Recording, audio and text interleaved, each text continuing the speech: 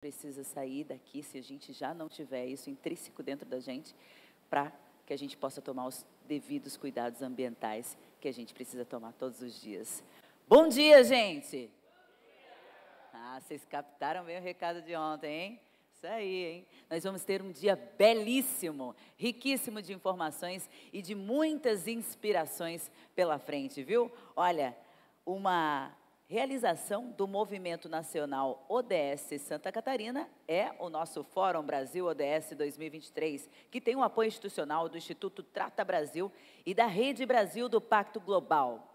Em sua terceira edição, o fórum conta com o patrocínio das empresas AEGIA, AILO Sistema de Cooperativas, ArcelorMittal, Unicred Central Conexão, Portonave SA e ainda com o Cicobi Central é Santa Catarina e Rio Grande do Sul, ENDE, Grupo Tigre e o Centro de Integração Empresa Escola.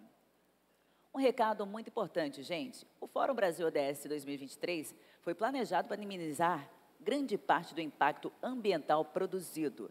Para isso, contamos com a colaboração dos participantes, respondendo um questionário. Quem ainda não fez é muito importante para a gente, viu? Um questionário para calcularmos aí a pegada de carbono emitida com a realização do fórum.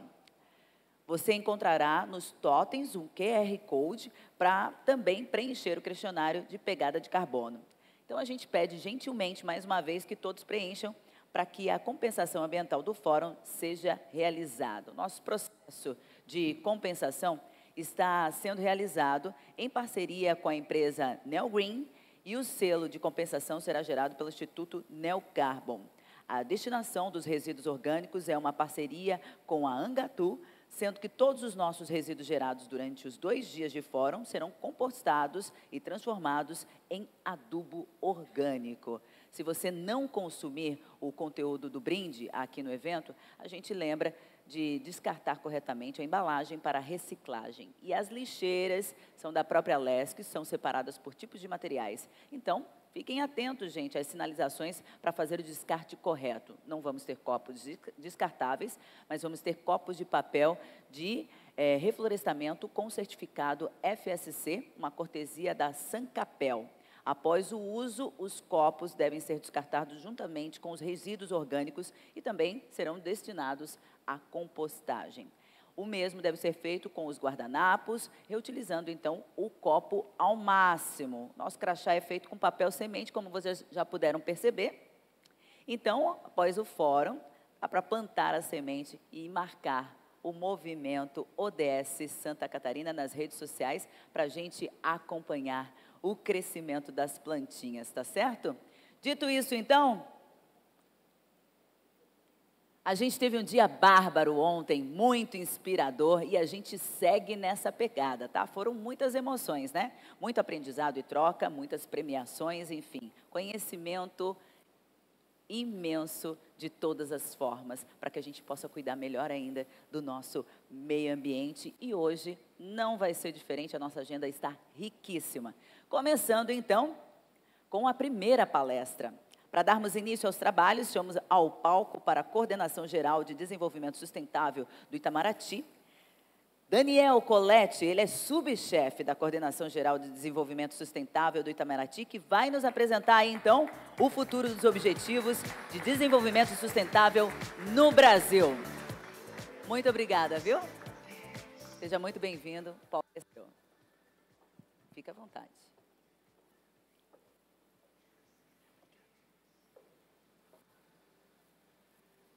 Bom dia, pessoal. Bom dia. Primeiro eu queria agradecer daqui, é um prazer, uma satisfação. Alguns aqui sabem, eu sou de Florianópolis, Manezinho, e eu saí daqui em 2014 e voltar para cá agora. Saí antes então da criação dos ODS, da Agenda 2030, e voltar para cá e ver esse movimento, essa força, essa empolgação que vocês têm no tema é, é muito gratificante. Então, muito obrigado por chamar Itamaraty. Espero trazer um pouquinho aqui sobre a nossa política externa, da onde vem os ODS, para onde a gente vai e contribuir um pouco com o nosso debate nesse grande fórum. Então, sou da Coordenação Geral do Desenvolvimento Sustentável, diplomata. Eu vou falar um pouquinho sobre a política externa. Da onde viemos em relação aos ODS e para onde vamos, o que queremos no nosso futuro. Então, uma cronologia rápida.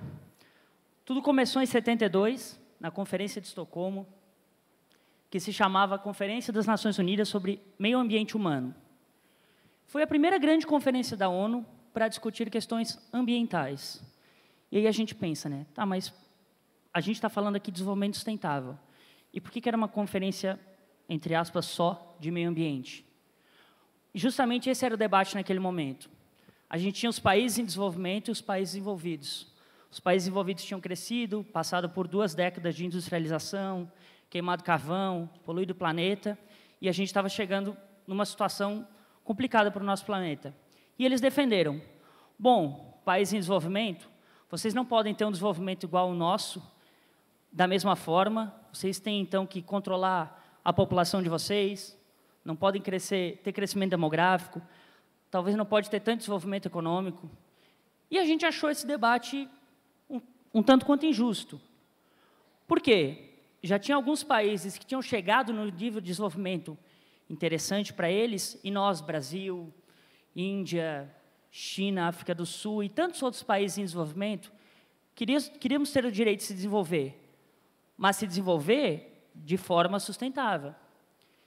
Então, no meio desse debate, o Brasil foi um dos primeiros países a levantar a bandeira e falar: ok, queremos sim ter um desenvolvimento sustentável, mas não podemos fazer com que isso não deixe a gente também se desenvolver. Então, não dá apenas para que a gente não possa mais ter uma população que cresça, não possa ter uma economia que se desenvolva. A gente tem que ter isso, mas de forma sustentável. E aí a então ministra, primeira ministra da Índia, Indira Gandhi, ela pegou todas as intervenções que o Brasil fez nessa conferência e resumiu de uma forma magistral, falando a frase: a pobreza é a pior forma de poluição, que resumia esse, esse entendimento levado a cabo pelos países em desenvolvimento. Então a conferência terminou no que a gente considera uma grande vitória diplomática e que perdura até hoje. A questão ambiental nas negociações diplomáticas internacionais, ela deve ser vista no contexto mais amplo do desenvolvimento social, e econômico, que é o que a gente chama hoje de desenvolvimento sustentável.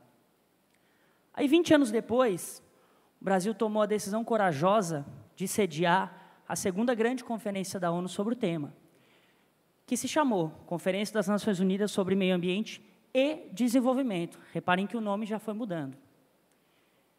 E foi o que o Maurice Strong, que foi o secretário-geral dessa conferência, um canadense, chamou então de um momento histórico para a humanidade, porque era uma conferência em um país em desenvolvimento, uma conferência que fez mais de 100 chefes de Estado do mundo se reunirem no mesmo local, aqui no Brasil, e num contexto que era politicamente geopoliticamente favorável, porque o fim da Guerra Fria possibilitava a gente debater as questões de sustentabilidade de forma mais ativa.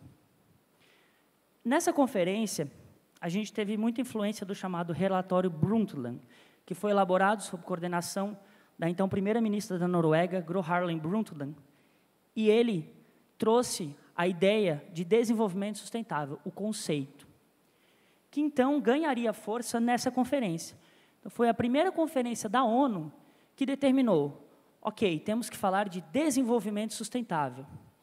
E o que é desenvolvimento sustentável, como todos sabem? É aquele que possibilita que as gerações atuais consigam satisfazer suas necessidades sem comprometer o das gerações futuras. O conceito tão bem conhecido já. Então, nessa conferência, a gente conseguiu conscientizar todos os países, isso foi reconhecido por todos os países da ONU, de que os danos ao meio ambiente eram majoritariamente responsabilidade histórica dos países desenvolvidos, por essa questão de industrialização de séculos que a gente falou no começo. E, a partir de então, a gente conseguiu consolidar tanto o princípio de que todos os países têm direito ao desenvolvimento sustentável, assim como o princípio também tão conhecido das responsabilidades comuns, porém diferenciadas, que justamente leva em conta essa divisão de responsabilidades entre os países. A gente também conseguiu consolidar a ideia de que os países em desenvolvimento precisam de apoio financeiro e transferência tecnológica para poder desenvolver inovações e capacidades que façam com que o seu desenvolvimento seja sustentável. Ela terminou, então, com as três grandes convenções do Rio, que são a de clima, biodiversidade e desertificação. Que eu vou fazer um, uma saidinha da apresentação, a gente está hoje discutindo o futuro tratado sobre plásticos. Ontem o Arthur falou tão bem aqui da questão do lixo zero, então ela vai ser mais uma outra COP. A COP do clima é a mais conhecida, mas todas essas têm COP. Tem a COP da biodiversidade. E quando o tratado de plásticos for concluído, que prevê a redução do uso de plástico no planeta, também vai ter a sua COP. Então vai ser mais uma das convenções importantes. Aí, em 2002, ocorreu a chamada Rio Mais 10, que foi em Joanesburgo, na África do Sul, outro país em desenvolvimento, não por acaso. E reparem o nome da cúpula: Cúpula Mundial sobre Desenvolvimento Sustentável. Está consolidado, então, aqui já em 2002, o entendimento que a gente tem que entender as questões ambientais nessa esfera mais ampla do desenvolvimento sustentável. E nessa cúpula foi consolidado o entendimento também de que o desenvolvimento sustentável embarca três pilares: o econômico, o social e o ambiental. E também se consolidou uma relação cada vez mais estreita de várias agendas: agenda de comércio internacional, de financiamento, de meio ambiente. Porque, como a gente tão bem viu ontem aqui nos debates, elas são todas interligadas. A gente não consegue falar de um ODS sem falar do outro. Então, a gente tem que ver sempre dessa forma ampla. Aí, em 2012, na chamada Rio que foi a conferência da ONU sobre desenvolvimento sustentável, ela foi a maior conferência da ONU de todos os tempos até então. E por proposta brasileira, e aí eu trago aqui um, uma informação de bastidor, foi numa salinha lá no Palácio Itamaraty do Rio de Janeiro, que nós, Brasil, o colega diplomata que estava na minha posição há alguns anos, propôs. Vamos criar, então, os Objetivos de Desenvolvimento Sustentável, abarcando as três dimensões, econômica, social e ambiental, e sendo um compromisso, e aqui o, a grande questão, para todos os países. Então, desenvolvidos, em desenvolvimento, todos, todos temos o compromisso de promover um mundo que seja sustentável. E, a partir de então, de proposta brasileira, iniciaram as negociações para o desenvolvimento sustentável, para a Agenda 2030, que seria, então, publicada em 2015. E em 2015 tivemos a Agenda 2030, que o que, que é? É um plano de ação global que justamente visa alcançar as três dimensões de forma equilibrada e integrada. E dentro da Agenda 2030, que é uma resolução da ONU aprovada por todos os países, a gente tem os 17 ODS. E aí é que eu faço essa, essa gostaria de frisar. Todos os 193 países da ONU aprovaram de forma consensual a Agenda 2030. Então, ela não é uma agenda de um país A ou B, do Ocidente, do Oriente, desenvolvido, desenvolvimento. Ela é uma agenda com compromissos para todos os países. E dentro dos países, todas as pessoas que os integram. Então, é uma agenda de fato global. E daí a sua importância. Então, dentro dela temos os 17 ODS, que a gente também conhece. Mas eu queria reforçar aqui. Reparem que a gente não tem aqui apenas clima ou apenas pobreza, apenas saúde. A gente tem tudo. É de fato um plano de ação para nós, como humanidade, podemos progredir. E um plano de ação acordado por todos. E daí a importância, a sua abrangência. Então, só queria fazer essa questão histórica para a gente entender da onde a gente vem e a importância da gente estar aqui debatendo hoje esse tema. Então, os ODS e o Brasil. Como eu falei, o Brasil foi quem propôs os ODS.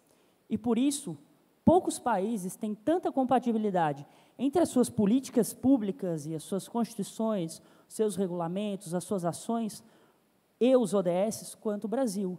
Porque ele foi uma agenda proposta a partir da nossa perspectiva de um país que é diverso, que é grande, tem dimensões continentais, tem recursos naturais imensos, mas também tem desafios sociais muito grandes. Então, a gente pode, numa mesa de negociações, falar em pé de igualdade com um país nórdico, que é muito desenvolvido, com Burkina Faso, que é um país que tem muitos desafios sociais, como a gente, porque nós somos um país diverso. E a gente vê isso hoje no fórum, ontem no fórum. Tantos exemplos de projetos interessantes que abarcam tantos desafios em distintos locais aqui do Estado. Então, a gente vê essa abrangência e a, o caráter único que o nosso país tem na sua pluralidade. E isso se deve ao quê? Essa compatibilidade entre os ODS e as políticas públicas. Justamente ao Brasil ter sido um país historicamente atuante no tema. É uma liderança reconhecida nas negociações diplomáticas e foi quem propôs a agenda dos ODS. E, ao mesmo tempo, como eu falei, tem a legitimidade de ser um país que tem desafios muito grandes e tem potencialidades muito grandes, então pode falar em pé de igualdade com distintas nações. Mas agora vamos ao que interessa mais. O que é o futuro? O que a gente pode ver? O que a política externa pode trazer para a gente e para o futuro da Agenda 2030 e dos ODS no Brasil? Bom, temos alguns pontos interessantes. Vou falar aqui. O primeiro, a gente acabou de voltar da ONU mês passado, teve a cúpula dos Objetivos de Desenvolvimento Sustentável. Essa cúpula ela ocorre de forma quadrienal. A primeira foi em 2015, no, lança, no lançamento da própria agenda. Tivemos a segunda em 2019 e no mês passado tivemos outra, que marcou simbolicamente a metade do prazo da agenda. Então já cumprimos metade do período para a gente cumprir os ODS. Ainda temos muitos desafios. Alguns se agravaram, tivemos pandemia, tivemos crise econômica, e tudo isso prejudica. Mas ainda temos mais metade para cumprir, ainda temos tempo para avançar. E nisso que a gente precisa focar. Ontem a gente viu no painel o professor Lindbergh falando, a gente tem que ter também um olhar positivo, ver o que é possível fazer, ver como a gente pode avançar. E acho que essa cúpula, marcando metade do prazo, por mais que alguns desafios tenham passado, a gente ainda tem tempo para avançar em alguns outros. E essa foi a ideia, a gente foi lá debater. Além da cúpula, todo ano existe o chamado Foro de Alto Nível sobre Desenvolvimento Sustentável, que ele faz a revisão, opa, que ele faz a revisão da agenda e ele sempre escolhe cinco ODS para revisar a cada ano. Então a gente participou agora em 2023. Inclusive um dos ODS revisados em 2023 foi o ODS 6 de água, que é um dos que tem o tema da água que tá, foi também escolhido para o foro de hoje. Mas, como bem falamos, a questão da água e do saneamento abarca vários ODS, embora esse seja ah, visualmente o, o mais aparente vinculado ao tema. E uma coisa interessante é que o Brasil foi um dos únicos três países, juntamente com Gana e Singapura, convidado pela ONU no Foro de Julho a apresentar os seus avanços no ODS 6. Porque, embora a gente tenha desafios e a gente está debatendo eles aqui, a gente tem muito a mostrar em nível mundial. Somos um país que tem políticas e tem alguns avanços que são exemplos para outros países. Por mais, repito, que a gente tenha desafios ainda. É claro, não estamos no nível perfeito. Nenhum país atingiu o desenvolvimento sustentável de forma plena. Mas temos a mostrar nesse ODS. Então, uma coisa boa também, que talvez traga para a gente um pouco de é, sensação positiva de ver, é que no ODS 6 o Brasil ele é reconhecido como um país que tem avançado bastante. E agora, em 2024, a gente recebeu a confirmação há dois dias. Inclusive, eu nem confirmei ainda oficialmente para a Secretaria-Geral da Presidência da República. Me desculpa, Lavito, mas a gente acabou de receber da ONU a confirmação de que o Brasil foi aceito para apresentar a sua segunda revisão nacional voluntária no foro do ano que vem, em julho. Essa revisão ela é apresentada por, pelos países todos de forma voluntária. Alguns já apresentaram uma, duas, três, quatro. O Brasil apresentou a sua primeira em 2017 e a gente vai apresentar a segunda no ano que vem. A gente teve que fazer algumas gestões diplomáticas junto à presidente do ECOSOC, que é nossa companheira de região, que é a embaixadora chilena Narvaez, e a gente conseguiu o slot para o Brasil fazer a apresentação da RNV. Então, faremos ano que vem um trabalho que vai ser coordenado pela Quinodes, depois vai, vai falar para a gente é, o pessoal da Secretaria-Geral é, e outros colegas mas é um trabalho que vai exigir bastante fôlego e, e vai nos trazer um panorama de como estamos em relação a todos os ODS. Um outro foro no qual a gente tem participação também e que revisa a Agenda 2030 é o chamado Foro dos Países da América Latina e Caribe sobre Desenvolvimento Sustentável. Ele é uma espécie de foro preparatório para o foro na ONU, que é em julho. Geralmente, esse costuma ocorrer lá por abril, e ele é a revisão regional do que a ONU vai fazer em âmbito global. E o Brasil, assim como ocorreu nesse ano, pretende ter protagonismo no ano que vem, sobretudo sendo o ano em que vamos apresentar a RNV no foro da ONU. E agora, G20. O que é o G20? Por que ele é tão importante? E por que, que o tema da sustentabilidade vai ser uma prioridade na presidência brasileira? O G20 reúne 19 países, mais a União Europeia, e agora, recentemente, entrou também a União Africana. Ele representa 90% do PIB mundial, 80% do comércio e dois terços da população do mundo. Ou seja, são 21 entidades, incluindo 19 países e duas organizações internacionais, que têm uma influência gigantesca nos rumos da economia, da população, do comércio, da sustentabilidade.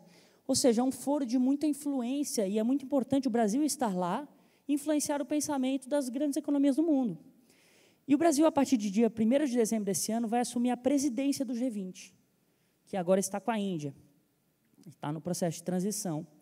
E foi escolhido como lema da presidência brasileira o seguinte: construindo um mundo justo e um planeta sustentável. Não é por nada, né? Um mundo justo e um planeta sustentável. Reparem como os ODS e a Agenda 2030 permeiam qualquer negociação diplomática que a gente faça hoje, qualquer política pública, porque é o que a gente falou, eles são uma agenda muito ampla, uma agenda muito rica e que a gente tem que ter como uma, uma, um guia para as nossas políticas.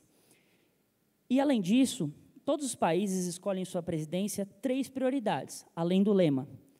Uma das três prioridades brasileira da presidência brasileira vai ser as três dimensões do desenvolvimento sustentável, que é justamente o que a gente está falando: econômica, social e ambiental. Além disso, o G20 é organizado em duas trilhas. Tem a trilha financeira, que ela é tocada pelo Ministério da Fazenda, e tem a trilha que a gente chama de Sherpas, que é a trilha tocada pelos Ministérios de Relações Exteriores. E elas têm vários grupos de trabalho temáticos, forças-tarefa iniciativas. No grupo de trabalho de desenvolvimento, do qual a gente participa, a gente fala muito da Agenda 2030 e troca boas práticas, políticas públicas e como a gente pode melhorar e avançar nos temas dos ODS. E por proposta brasileira, vai ser criada também a iniciativa sobre bioeconomia, que é um conceito novo, não existe ainda uma, um consenso multilateral internacional sobre o que é bioeconomia, dá para ver de várias formas, mas nós, Brasil, entendemos de forma ampla e a partir justamente das três dimensões do desenvolvimento sustentável. Então, é mais uma instância para a gente reforçar a importância da Agenda 2030 e ver formas de continuar avançando rumo ao cumprimento dos ODS. E agora, talvez não seja o meu tema, mas eu quero fazer uma, um, uma, um final de coesão. Temos a Comissão Nacional para os Objetivos de Desenvolvimento Sustentável. Teve o decreto presidencial em setembro, vai ser falado no próximo painel, que tem o papel de internalizar e implementar a Agenda 2030 no país. E a gente participa da comissão, que é tocada pela Secretaria-Geral da Presidência, junto com participação social, muitas pessoas aqui já participaram de algumas reuniões, e ela é uma espécie de amálgama que reúne várias pessoas e várias atuações e demonstra a amplitude da Agenda 2030 e também demonstra a grande capacidade que nós temos como Brasil de atuar no tema, porque a gente vê uma composição muito diversa, pessoas do Brasil inteiro, de várias instituições, do poder público, setor privado, sociedade civil, movimentos. Então, acho que ela, ela reúne em si todo esse processo e essa quantidade de pessoas que acreditam no tema e veem que é possível construir um planeta sustentável. E uma frase muito boa que a gente escuta no Itamaraty bastante é: o Brasil não é samba de uma nota só, que é do embaixador Azambuja. É, não é samba de uma nota só por quê? Como a gente viu ontem nos projetos, temos distintos projetos de várias áreas. Temos três dimensões de desenvolvimento sustentável, não uma, não duas, três. Temos vários ODS, temos várias perspectivas, e a gente conversa com as pessoas e vê quão diferente nós, Brasil, somos e quão rico isso é para o nosso país. Então não somos uma nota, somos várias. E eu queria fazer uso da frase da Regina de ontem, com licença, e falar que, de fato, ninguém é sustentável sozinho. Acho que ela resume bem o que o embaixador tentou falar na outra frase. Então, a gente, a gente como Itamaraty, está tá sempre disposto a ajudar, participar, fazer o nosso papel. Claro, Itamaraty faz muito a conexão internacional, mas a gente sempre fala, nós não inventamos a posição internacional do Brasil do nada, de forma ad hoc. A gente constrói a posição a partir das percepções e das opiniões que a gente tem dos outros ministérios, da sociedade civil, dos distintos governos. Então, é uma construção com opiniões, de forma coletiva, que a gente tenta, de certa forma, ser um catalisador que amalgama tudo isso para construir uma posição coerente, que tem uma visão estratégica, mas a gente precisa dos inputs, a gente precisa saber o que está acontecendo no terreno, o que, que as pessoas estão tendo dificuldade, o que está avançando, o que, que não está. Então, queria deixar o Ministério à disposição, Coordenação Geral do Desenvolvimento Sustentável. É sempre um prazer participar desses foros que são tão instigantes, fazem a gente pensar, refletir e ver várias ações. E é também é, muito gratificante conhecer as pessoas. A gente fala muito por videochamada, telefone, e às vezes demora anos para se conhecer pessoalmente. Então a gente faz questão de estar aqui e participar sempre que possível. Então, eu queria agradecer, a gente está à disposição. Sobraram uns minutinhos, então se vocês quiserem, enfim, ter alguma interação, a gente está à disposição. Muito obrigado. Daniel, eu fiquei curiosa que a gente estava sabendo nos bastidores que hoje você ia trazer uma familiar. Ela veio ou não veio? ah, pois é. Não, então, gente, minha avó de 95 anos, tadinha, mas ela não pode vir. Ah, é. Mas manda o nosso carinho, o nosso abraço. Vou mandar, vou mandar. Muito obrigado. Com certeza o fórum ficaria muito mais rico se ela estivesse aqui, mas a gente vai fazer de conta que ela está aqui e fazer o evento todo dedicado no a ela. Próximo tá convence. No próximo eu vou começar o trabalho desde já. Tá certo. Obrigada, viu? Alguma pergunta para o nosso palestrante, gente? Então vamos dar sequência, então? Muito, obrigada, obrigado. viu? Volte sempre. Bom, gente, é isso. Agora a gente vai dar sequência com um painel, Compromisso do Brasil com os ODS, é, falando então sobre a, a seguinte questão, tá? O nosso primeiro painel do dia vai tratar sobre um assunto mega importante. Mas antes, a gente vai dar alguns recados paroquiais, tá? E vamos colocar na sequência um vídeo. Aí mais um recado importante é o seguinte, o Fórum Brasil ODS 2023, eu vou falando aqui enquanto o pessoal da produção vai organizando as cadeiras aqui para os nossos painelistas, tá? Ele foi planejado para minimizar grande parte do impacto ambiental produzido, gente. Para isso, a gente conta, então, com a colaboração dos participantes respondendo um questionário que eu já solicitei.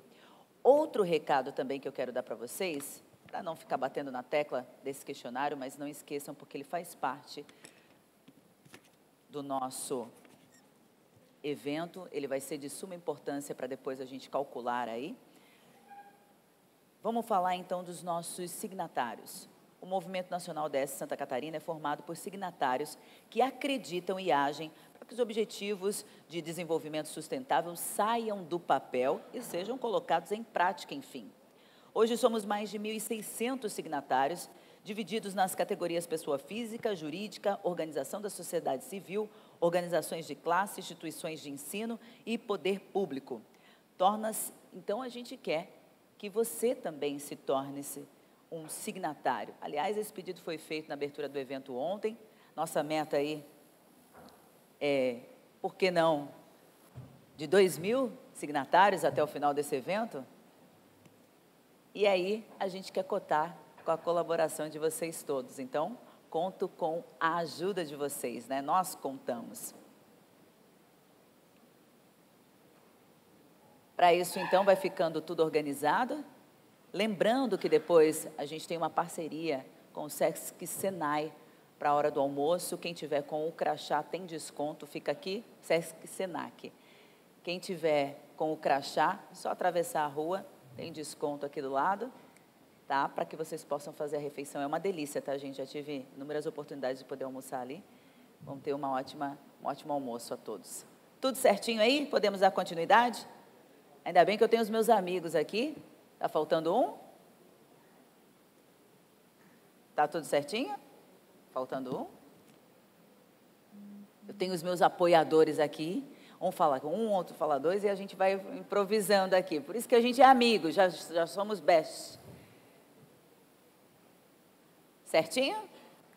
Vamos lá então, gente. Ó, antes da gente iniciar o nosso painel, vamos assistir um vídeo com Haroldo Machado Filho, oficial de parcerias e, e financiamento escritório da coordenadora residente do Sistema das Nações Unidas, a ONU, no Brasil. Olha só. Olá.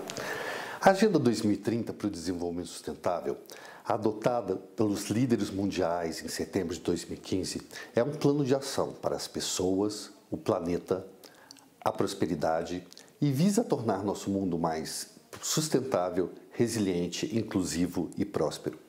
A agenda e seus 17 Objetivos de Desenvolvimento Sustentável, os ODS, e suas 169 metas se aplicam a todos os países e visam melhorar a vida e a prosperidade das pessoas e um planeta saudável por meio de parcerias e de paz. A adoção dessa agenda e dos ODS lá em 2015 tem mobilizado ações globais, regionais e locais. Muitos dos países, cidades e diversos atores do setor empresarial e da sociedade civil, como vocês aí reunidos em Santa Catarina, estão ativamente engajados na implementação da agenda e na busca dos objetivos. Entretanto, neste ano de 2023, no ponto médio da implementação, antes do ano-alvo de 2030, devemos nos dar conta de que os ODS estão fora da trajetória necessária para que sejam alcançados. Na metade do caminho para 2030, os ODS estão em sérios problemas. Uma avaliação preliminar de cerca das metas para as quais nós temos os dados, cerca de 140, mostra que apenas cerca de 15% estão no caminho certo. Quase a metade, embora mostre progresso, está moderada ou gravemente fora do caminho certo e cerca de 37% não viram nenhum movimento ou regrediram abaixo da linha de base de 2015. Infelizmente, a falta de progresso dos ODS é universal mas está bem claro que os países em desenvolvimento e as pessoas mais pobres e vulneráveis do mundo estão arcando com o peso do nosso fracasso coletivo. De acordo com as tendências atuais, 575 milhões de pessoas, quase 7% da população mundial, ainda viverão em extrema pobreza em 2030. Em comparação com os 800 milhões em 2015, ou 10,8% da população, isso é uma mudança muito pequena em 15 anos. Surpreendentemente, o mundo está de volta aos níveis de fome não vistos desde 2005 e os preços dos alimentos continuam mais altos em mais países do que no período de 2015 e 2019. Em 2015, 589 milhões de pessoas estavam passando fome. Em 2021, esse número havia aumentado para 768 milhões. Na trajetória atual, serão necessários 286 anos para fechar as lacunas de gênero na proteção legal e remover as leis discriminatórias. No ritmo atual de progresso, poderá levar mais 25 anos para acabar com o desmatamento, enquanto as temperaturas em todo o planeta não param de subir. Em meio a esse cenário preocupante e desafiador, foi realizada em setembro deste ano a Cúpula dos ODS, a qual proporcionou uma oportunidade para aumentar o compromisso internacional com a agenda e os objetivos, mostrar áreas de progresso e desafios globais e buscar acelerar a implementação e a transação. Em seu discurso na abertura da Assembleia Geral deste ano, no dia 19 de setembro, o presidente Lula afirmou que nos sete anos que nos restam até 2030, a redução das desigualdades dentro dos países e entre eles deveria se tornar o objetivo síntese da Agenda 2030. Disse ainda que o Brasil está comprometido a implementar todos os 17 Objetivos de Desenvolvimento Sustentável de maneira integrada, indivisível. Sim, todos os objetivos contam e são importantes. Ademais, o presidente Lula anunciou um 18º objetivo voluntário que o país pretende adotar a igualdade racial na sociedade brasileira. Além disso, o decreto presidencial de 11, o número 11.704, de 14 de setembro de 2023, instituiu a Comissão Nacional para os ODS, que é um colegiado de natureza consultiva. Essa comissão ela tem como objetivo contribuir para a internalização da Agenda 2030 no Brasil e estimular sua implementação em todas as esferas de governo e sociedade civil. Esperamos que isso dê um novo impulso à Agenda 2030 neste país. E no atual momento, esperamos também que todas as partes interessadas ajudem a alavancar o progresso em áreas chaves para acelerar o processo de implementação.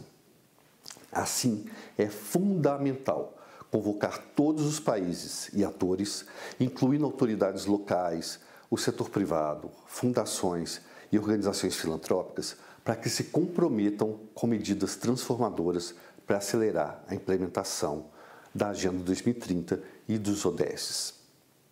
E para que construam parcerias para uma maior realização em todos os níveis. Não devemos nos abater com o cenário desafiador do momento atual, mas sim intensificar os esforços para que tenhamos um mundo melhor, mais justo e mais resiliente em 2030. Contamos com a energia e disposição de todos vocês aí reunidos para que isso seja uma realidade. Afinal de contas, se o mundo não for melhor para todas e todos em 2030, não vai ser para ninguém. Muito obrigado. É isso. Esse é o pedido e esse é o nosso compromisso. Os números são alarmantes, né? Mais de 200 anos para as questões, algumas questões de mudança ambientais.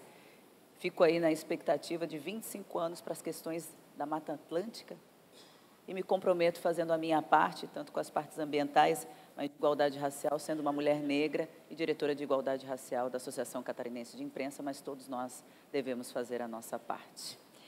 Bom, Vamos então saber qual é o compromisso do Brasil com os ODS. Para isso, convido para mediar o painel a senhora Adelita Adiers, coordenadora do ODS Think Tank.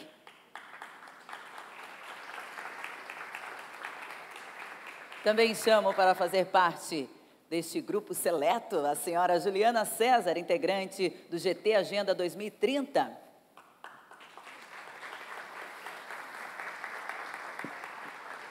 E junto delas, o senhor Lavito Persson Mota Bacariça, da Secretaria Executiva da Comissão Nacional para os ODS.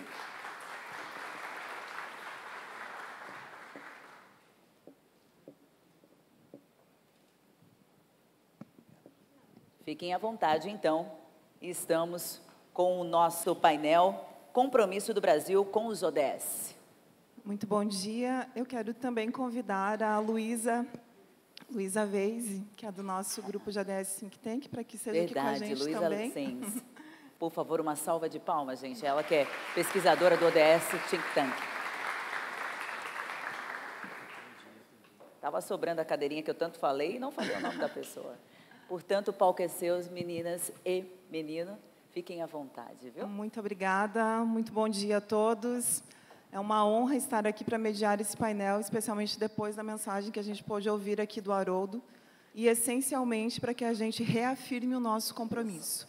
Tenho certeza que cada um de vocês que estão aqui, assim como eu, tem a sustentabilidade como um valor, como um princípio, e é por isso que nós estamos aqui, para que a gente possa levar, através da nossa ação, a mudança que nós queremos para o mundo, né, para esse planeta que é único, e como o Haroldo falou, se esse compromisso não for de cada um de nós, não será hoje, não será amanhã, não será em 2030 que nós teremos as mudanças necessárias. Então, hoje a gente vem aqui com alguns desses convidados que também têm esses princípios, esses valores, e nós temos algumas perguntas orientadoras, mas o propósito que a gente conversou e combinou aqui é que a gente vai sair daqui com respostas, ou pelo menos com caminhos, né? não com, com respostas, mas com caminhos, e o qual eu convido a cada um de vocês para que também assumam esse compromisso nas suas atividades, nas suas comunidades, nas suas ações e escolhas diárias. Então, nós vamos explorar e conhecer melhor alguns dos indicadores do relatório Luz, muitos de vocês já conhecem. É uma ferramenta produzida pela sociedade civil que né, nos orienta, ancora em que estágio nós estamos com os ODS. Vamos conhecer também os compromissos efetivamente do Brasil, especialmente agora com a retomada da Comissão Nacional e como que o governo, né, e como nós poderemos contribuir também com essas ações que são importantes e que com certeza vão dar um novo rumo para os ODS e vamos conhecer um pouquinho das iniciativas que nós, aqui, enquanto Movimento ADS Santa Catarina, também estamos mobilizando, também estamos buscando conhecer um raio-x, um olhar mais próximo ao nosso Estado. É, a gente sabe que Santa Catarina é um Estado com, com muitas belezas, muitas competências, muitas oportunidades, mas nós também sabemos que temos alguns recortes bastante desafiadores.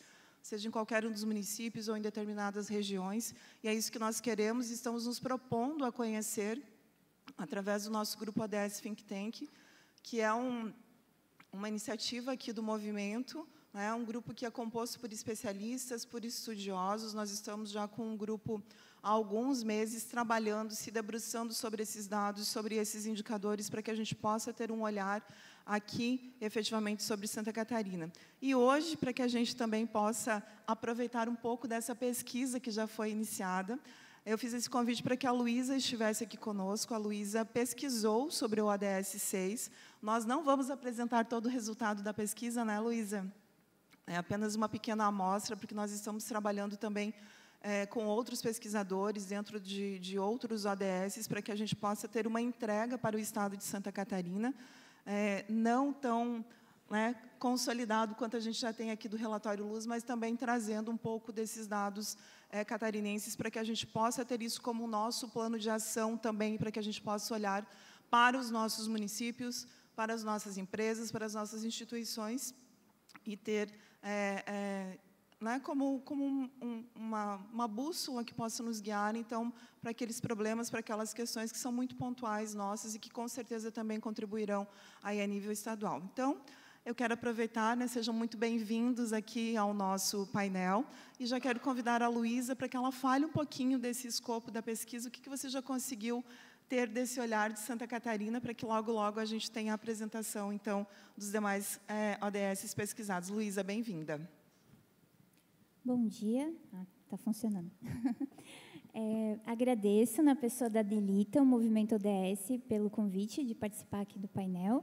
Bom dia a todos. É, bom dia aos demais convidados também aqui da mesa. É, então, o motivo né, de eu especificamente estar aqui, porque é um grupo grande de pesquisadores que a gente tem para fazer o, o, relatório do ODS Think Tank, só que o, o objetivo do o que eu estou pesquisando é o 6, que é água e saneamento. Então, como o fórum é direcionado à água, é, foi fui chamada para falar aqui um pouquinho com vocês. É, é, muito importante a gente delimitar um pouco o assunto saneamento, né, porque é um tema amplo, de acordo com a nossa legislação nacional. Ele compreende abastecimento de água, o esgotamento sanitário, a drenagem do, da água da chuva e os resíduos sólidos. Então, especificamente no relatório, a gente focou no abastecimento de água e esgotamento sanitário, e nas metas 6.1 e 6.2, que são as relacionadas ao acesso à água potável e ao acesso ao saneamento adequado. É, nesse sentido, o cenário do Brasil ele é desafiador na relação do saneamento, né? É, especialmente em Santa... Mas a gente já tem cidades que, que têm 100% da pontuação, que já atingiram esse objetivo. E em Santa Catarina, a cidade com maior pontuação tem 98,09, a pontuação do ODS 6. Então, a gente vê que já foi avançado alguma coisa na, nesse sentido, porém ainda tem um caminho a trilhar. E é, é importante que a gente estude e faça essa, essa pesquisa para a gente ver ah, o que, que eles fizeram que deu certo, o que, que a gente pode fazer aqui, sempre adequando à realidade local, porque é, é sobre isso que a Agenda 2030 trata também. Né? A gente tem que é, buscar atingir a sustentabilidade, mas respeitando as estruturas, porque também foi uma dificuldade encontrada na pesquisa. Os municípios com menor índice, eles são municípios pequenos, então também a gente precisa respeitar um pouco essa estrutura, né? Eu não posso olhar com os mesmos olhos do município grande e município pequeno, tem essa, essa questão. E um outro destaque, que eu, eu vou ser bem breve também, para não. É, mas um outro destaque importante é a questão da transparência, que a gente verificou que muitos municípios nos sites, eles não, não têm publicado. Por exemplo, a gente usou o Sistema Nacional de Informações de Saneamento que é um, uma política pública, né, que é eles têm que informar os, o, o, progresso no saneamento dentro do município. E tem municípios que, que ficaram com pontuação baixa ou até nenhuma pontuação no DS6, porque eles não têm esses dados publicados. Só que eles têm ações ainda que poucas, mas existem. Então, essa transparência ativa é uma, uma coisa muito sensível assim que os municípios têm que se atentar para que a gente tenha os indicadores que, que apareçam nas pesquisas, os indicadores que realmente estão correspondendo à realidade. Porque senão a gente está fazendo, a gente não consegue fazer esse controle social de maneira efetiva. Aí prejudica o controle, o processo de acompanhamento dessa política pública tão importante. Então, agradeço de novo a, a possibilidade da minha participação aqui devolvo a palavra para a tia Delita. Muito obrigada. Obrigada, Luísa.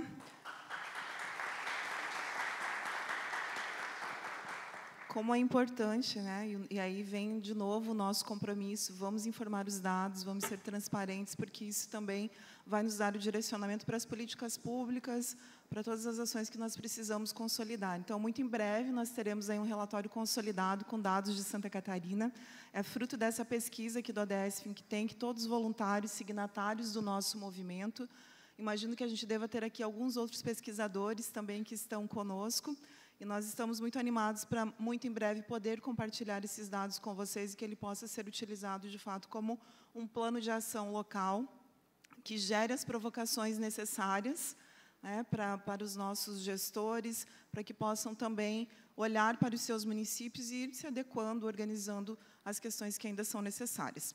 E para a gente dar sequência, então, aqui, eu vou já de imediato passar para a Juliana, a Juliana vai apresentar aqui para a gente alguns dados do relatório Luz, né, é, entendendo dentro dessa premissa que bem nós falamos aqui, que nós não podemos olhar as caixinhas separadas, mas elas são, elas têm essa, essa conexão e um ODS acaba impactando no outro. É importante que a gente reforce essa leitura, mas vamos também olhar com detalhe para algumas, para algumas metas, é, palco do nosso fórum aqui, e a Juliana vai poder trazer, então, é, esses dados, essas orientações, justamente para que a gente possa ir respondendo a nossa primeira proposta de pergunta aqui, que fala sobre esse panorama atual do Brasil em relação à Agenda 2030 e os nossos compromissos. E logo na sequência fala da Juliana, então também vou passar para que o Lavito possa complementar, né, e a gente vai fazendo essa interação aqui para que vocês possam compreender um pouquinho desse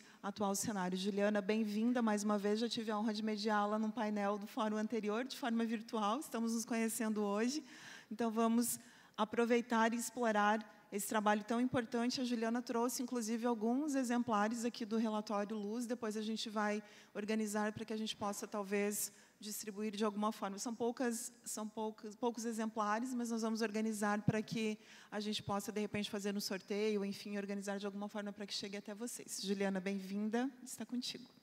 Ok, muito obrigada, Delita. É, gostaria de agradecer também o convite, né, para estar mais uma vez aqui, dessa vez presencial. É curioso, né, quando a gente tem tantas reuniões, a gente conversa com as pessoas virtualmente e finalmente a gente encontra ao vivo. É sempre um, um prazer. É, eu vou seguir a sua sugestão, vou ficar em pé do púlpito, porque vai ter uma apresentação muito rápida, um rodopio sobre como é que está a situação dos ODS, porque são muitas metas, muitos objetivos, e o tempo é curto, eu falo muito. Então, também conto com vocês, todo mundo pode me dar um toque se eu falar demais. As luzes são meio difíceis, de, deixa eu vir aqui para debaixo. Realmente são cegantes, vamos lá. É, ficar de costas para a luz, um pouco para vocês, mas vamos lá. Então, essa é a capa do relatório Luz desse ano, verde, um pouco de esperança. A gente acha que a gente acha que pode, mais uma vez, o país está um pouco mais alinhado com os ODS. Os últimos anos não foram fáceis para a Agenda 2030.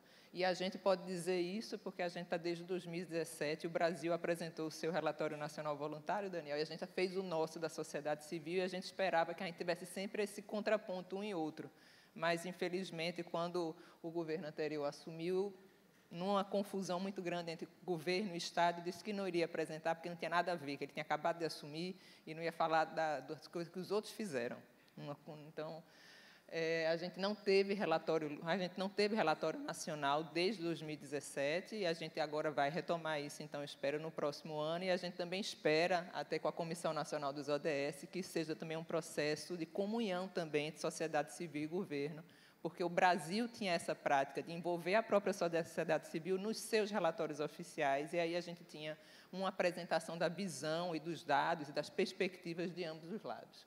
É, não é um trabalho só da Gestos, o GT Agenda 2030 é formado por mais de 60 organizações, e a gente, nesse processo, várias e várias organizações participam da coleta de dados, a gente tem uma validação externa também com entidades que não necessariamente fazem parte do GT para a gente conseguir ter esses dados. São dados oficiais ou de fontes extremamente reputadas, como a PESAM, por exemplo, para dados de alimentação, que são inquestionáveis. É, como é que está o cenário, então, afinal? Muito complicado, a gente queria que fosse uma roda toda cor de vinho, digamos, que seriam as do progresso satisfatório, mas não é o que a gente tem. O que a gente tem é retrocesso em mais de 60% das metas, e se você junta as que estão em retrocesso ameaçadas estagnadas, a gente passa dos 80%. Então, isso é um cenário bastante preocupante. Várias metas que estavam em, prog em progressão, mas estavam até ameaçadas, passaram a retrocesso nesses últimos anos, e a gente tem esse número de 29 que estão com progresso insuficiente. Então, é o máximo que a gente consegue avançar. Né? E para algumas delas, a gente não tem dado algum. Uma delas não se aplica ao Brasil, mas 300. Mas a gente tem essa classificação porque a sociedade civil busca esses dados de alguma maneira, ou existem pesquisadores, as universidades e outros que produzem dados. A gente também tem uma, série, uma séria situação do apagão de dados, dados que não são produzidos mais, ou que foram produzidos há muito tempo, ou que não estão mais disponíveis ao público de uma maneira acessível, fácil, que foi o que você acabou de falar da transparência ativa. Né? Então, existe uma dificuldade muito grande desse acesso a dados, e no relatório Luz do ano passado, inclusive, tivemos uma grande dificuldade, que era de, mesmo com a lei de acesso à informação, a informação era negada, que é algo que, para mim, é inconcebível. É, tentando fazer o meu rasante, já gastei muito tempo, é, a questão do Brasil, da pobreza, a gente pode observar nessa coluna vermelha um pouco mais escura como ela cresceu nos últimos anos, a extrema pobreza. Ela, só em dois anos ela passa de 2020 para 2021, sai de 5,7 para 8,4. Além da pobreza, também está em níveis altíssimos. Quando a gente junta tudo isso, a gente tem quase 40% da população. E aí, isso junto com a, com a fome, elas andam juntas. Então, a gente vê que, da mesma maneira que a segurança alimentar, a partir de 2013, ela começa a cair em queda livre, a gente vê também que a insegurança alimentar ela cresce e, de maneira muito preocupante, a insegurança grave, que é essa mais embaixo, a gente tinha em 2018 em 5,8, ela chega em 2022 a seus 15. Então, a pobreza e a fome, elas voltaram ao país de uma maneira... A pobreza sempre esteve, mas a fome, a gente tinha saído do mapa da fome, e a gente, o ano passado, 33 milhões é, de brasileiros e brasileiras que não sabiam quando iriam se alimentar novamente. Com relação a isso, a gente também tem um cenário de mortes violentas muito intenso, como no ano passado foram mais de 47 mil, é, e a gente tem um perfil também de quem morre no Brasil, não é por acaso. Então, a população negra que mais morre são quase, mais não, mais de três quartos dos assassinatos são de pessoas negras, mais da metade é de pessoas jovens, e negras e jovens também, a gente sabe que a gente tem um genocídio negro no Brasil, e são meninos, são pessoas do sexo masculino, em sua grande maioria, 91%. Das mortes LGBT que o Brasil, desde que esses indicadores começaram a ser calculados em 2012, 2010, 2012, o Brasil lidera mundialmente, e é praticamente uma, é uma liderança muito larga. Se você soma os outros países que dispõem desses dados, o Brasil quase dá a soma deles. Então, não é que a gente está num patamar e tem outro, está mais próximo, não. A gente está muito disparado. E aí a gente vê que dessas mortes, são 60% quase são da população trans e 35% de homens fazem sexo homens, identidade gay ou não. É, a questão da habitação, só queria colocar esse gráfico mesmo, 2021 para 2022, como houve uma queda da execução financeira em habitação. Então, a gente, os programas de adaptação popular, eles despencaram, e a gente teve, durante a pandemia, os impactos, aí não precisa olhar para isso, tem no relatório Luz, mas os impactos que a gente teve da, dos despejos forçados de famílias que, em meio à pandemia, se viram sem condição de manter seu ambiente e estavam no despejo. A gente só não teve números maiores do que 38 mil famílias despejadas durante a pandemia, porque se conseguiu uma decisão no STF que suspendeu a execução desses despejos, senão a situação seria ainda mais trágica e afetou crianças, pessoas idosas, mulheres, é, de uma maneira desproporcional. A gente também pode ver o impacto das mudanças climáticas que estão sendo discutidas aqui também, pelo que me relataram ontem, lá Vitor me falou também da discussão de, da, dos impactos da crise climática. A gente vê também uma, uma, um aumento absurdo do número de óbitos é, de pessoas em relação a desastres de uma maneira geral em 2022, e se a gente for olhar só dois meses de 2023, a gente teria potencial de passar por isso também, se mantivesse a mesma pegada. Acho que não será o caso, mas também é um número bastante alto. Isso mostra que a gente precisa de uma preparação nos municípios, nos territórios, para essa mudança. A gente tem uma comercialização de agrotóxicos com a liberação de, inclusive, de substâncias que são proibidas em outras partes do mundo, com a facilidade elas passam aqui, e não adianta muito que a gente continue tendo perda de grãos e perda de alimentos, é uma, uma quantidade absurda também que é desprezada e é perdida. E isso não também significa que você está usando agrotóxicos para diminuir a área, a área usada pelo agronegócio, por tudo isso. Não, a gente tem perdido vegetação nativa, principalmente pelo desmate, para, em tese do progresso, da criação agropecuária, e ela, então, a, vegetação vem perdida também. Do, relatório, do ODS 6, especificamente, essa aqui é a situação dele, ele tem essas oito metas, quase todas em retrocesso, e as que não estão em retrocesso, elas estão ameaçadas.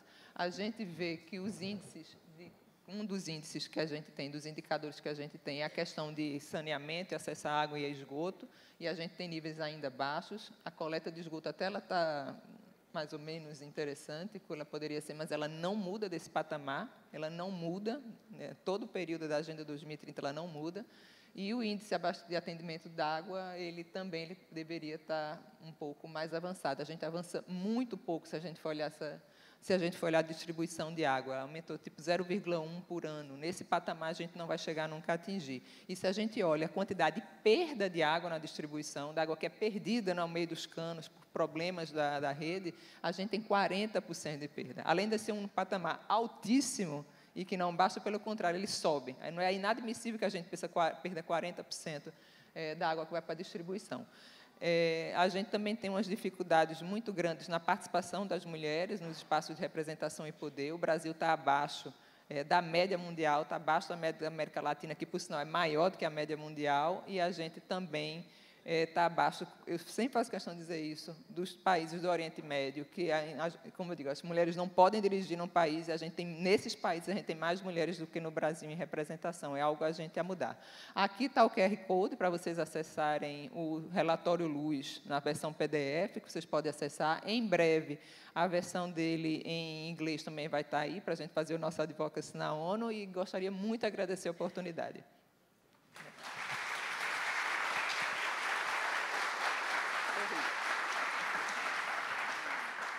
Obrigada, Juliana. Sempre muito importante. Né? Eu convido a todos para que, para quem ainda não conhece, que possam olhar com detalhe esse conteúdo riquíssimo do relatório Luz, que nos dá de fato um panorama real de como estamos e quais são os nossos desafios concretos que precisam ser enfrentados, né?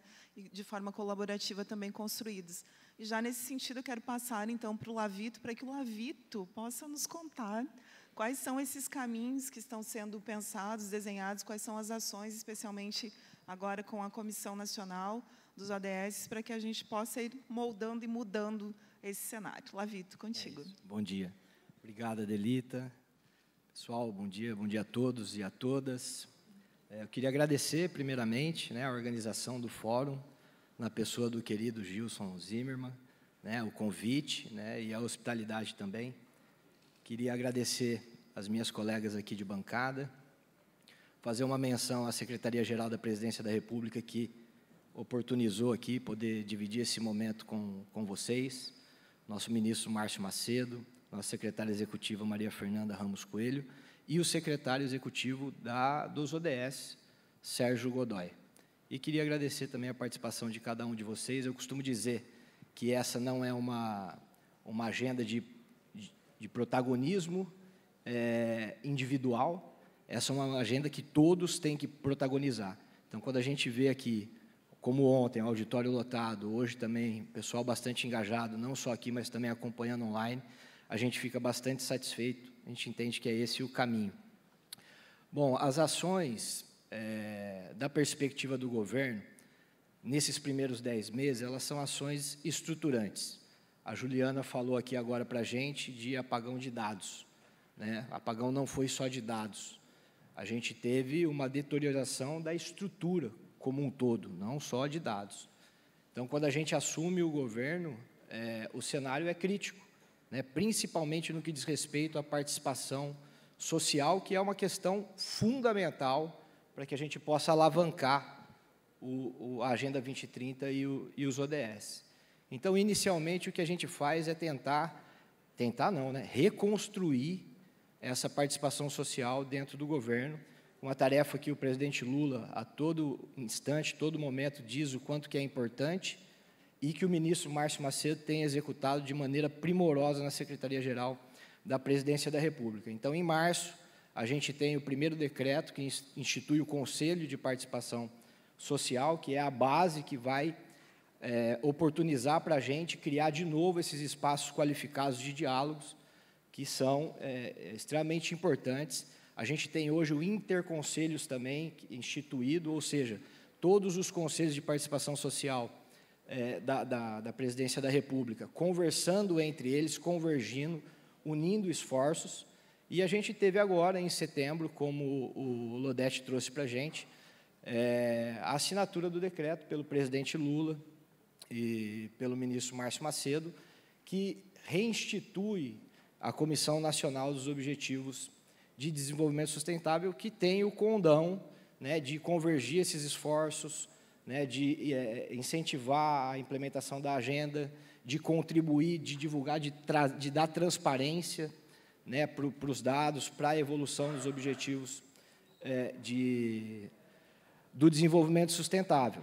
É, em relação à comissão, e aí a gente ficou muito satisfeito, porque assim que o presidente Lula assina o decreto, a gente logo no, em ato contínuo, a gente publica dois editais de seleção, né, um edital de seleção para poder selecionar representantes da organização da sociedade civil, das redes, do, dos movimentos sociais, e um edital de seleção para que a gente pudesse selecionar os representantes dos governos subnacionais.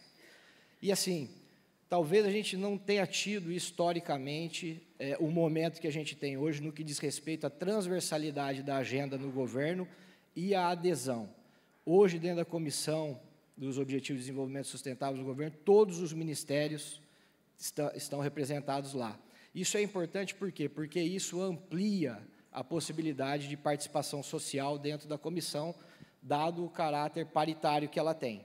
Então, a gente está hoje, essa semana, semana passada, essa semana, a gente está numa loucura lá no, no, no, na secretaria, porque a gente está analisando, habilitando as organizações. Alguns de vocês aqui, muito provavelmente, estão inscritos lá, a gente está analisando a documentação, habilitando, classificando, para que tão logo a gente, a gente conclua esse processo, a gente possa é, instituir né, a, a comissão e começar a trabalhar dentro da comissão. No que diz respeito à Secretaria Executiva dos ODS, cabe a gente, aí é onde eu estou é, vinculado, né, e que está sendo con conduzida pelo Sérgio Godoy, que não pôde estar aqui com a gente hoje, diz respeito à governança e o funcionamento regular da comissão. Então, também é um desafio enorme para a gente, porque, como disse, ela ficou bastante ampla.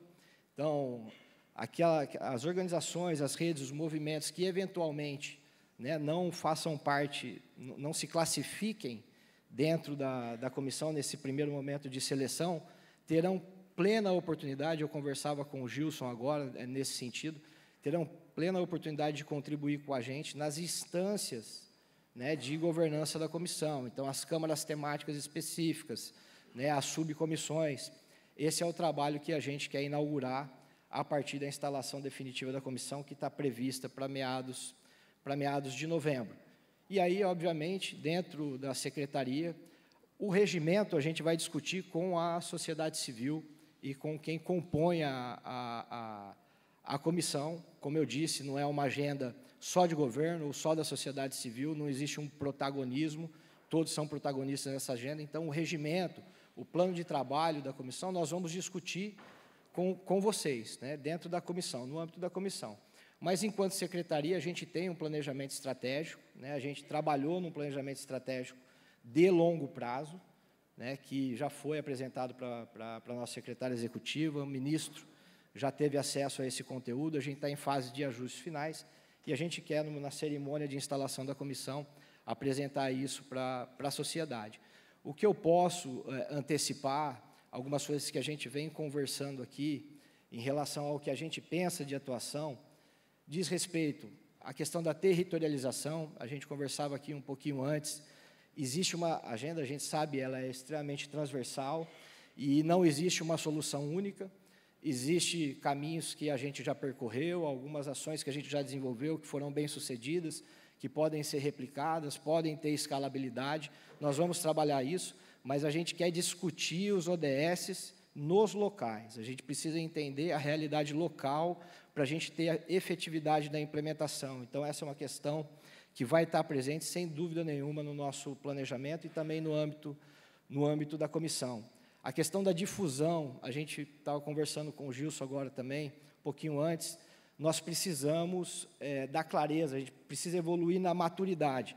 Por mais que os símbolos dos ODS sejam muito muito populares para a gente, que divide aqui essa mesa, não é tão popular assim quando a gente chega nos, nos rincões do país, nos extremos. Né? Então, a gente precisa retomar as conferências nacionais, retomar as conferências estaduais, as conferências municipais. A gente precisa trabalhar a difusão da agenda, é outro ponto que a gente vai é, canalizar esforço para poder desenvolver no âmbito da, é, da comissão. O Daniel falou muito bem aqui do trabalho do trabalho de Itamaraty, é uma agenda é uma agenda mundial, mas que alcança a dimensão individual, né? E Itamaraty está fazendo um excelente trabalho, nos apoiando também dentro da, é, dentro da comissão. Um dos pontos que a gente quer trabalhar também é esse reposicionamento. Eu acho que a gente já sai um pouco fortalecido do discurso histórico que o presidente Lula fez, é, fez na ONU, onde, dentre algumas coisas, ele se comprometeu com a comunidade mundial na implementação integral dos ODS. Né? Então, assim, a minha fala inicial aqui é nesse sentido, de trazer para vocês, né, a colega trouxe os dados, né, a dificuldade de desenvolver uma pesquisa hoje, Juliana e o trabalho teve com a gente agora, lá no, no, Planalto agora dia 25 no lançamento do relatório, é um trabalho fundamental, né, para o momento que a gente vive de país, a gente a gente se orienta muito pelo trabalho que vocês desenvolvem, de muita responsabilidade. Isso traz para a gente enormes é, desafios, a gente sabe que são enormes mesmo, e a comissão tem o condão de unir esses esforços, de trabalhar com a sociedade civil, com as redes, com movimentos social, sociais, com os órgãos de governo, para que a gente possa avançar nessa implementação. O desafio nunca acaba. Eu vou encerrar essa minha fala inicial com, com a frase de um professor meu que diz que o tempo urge, Vamos, vamos juntos, que os desafios são grandes. Muito obrigado, fico à disposição.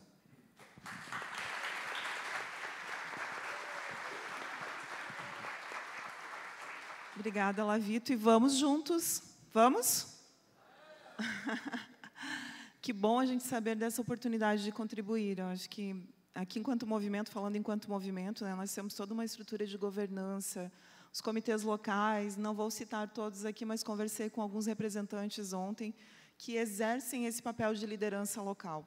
E quando a gente fala nessa liderança pelo exemplo, é cada um de nós se ver liderando esse processo, independente das atividades que está desempenhando. Então, que bom que a retomada da comissão vem aí, que essas pautas realmente precisam ser discutidas, né? que a gente não olhe apenas para caixinhas ou para que alguns símbolos, mas para que cada um se reconheça dentro daquilo que pode ser feito dentro da sua possibilidade. E para que a gente também possa falar um pouquinho, compartilhar boas práticas, eu queria ouvir de vocês se vocês têm algo a contribuir, a compartilhar conosco de políticas bem-sucedidas que alcancem os ODS, seja a nível de Brasil, nos seus municípios, suas cidades de origem, ou a nível mundial. O que a gente tem que pode ser compartilhado, que a gente observa aí nesse avanço da Agenda 2030? eu vou seguir, a, seguir só um pouquinho, até para complementar. Eu não vou nem entrar no âmbito mundial, mas quero pegar um, um gancho no que o Daniel também apresentou para a gente. Basta a gente ver o que o Brasil representa para essa agenda, né, desde os ODMs e agora os ODS. Né? Então, se a gente olhar é, para o país, né, com toda a deteriorização que a gente teve das políticas públicas, deteriorização institucional que a gente teve no, no, no último período de governo que nos antecedeu, a gente ainda tem muita coisa boa e que a gente quer tracionar agora para que a gente possa, na COP30, é, já ter alguns resultados diferentes desses que a Juliana apresentou hoje para a gente.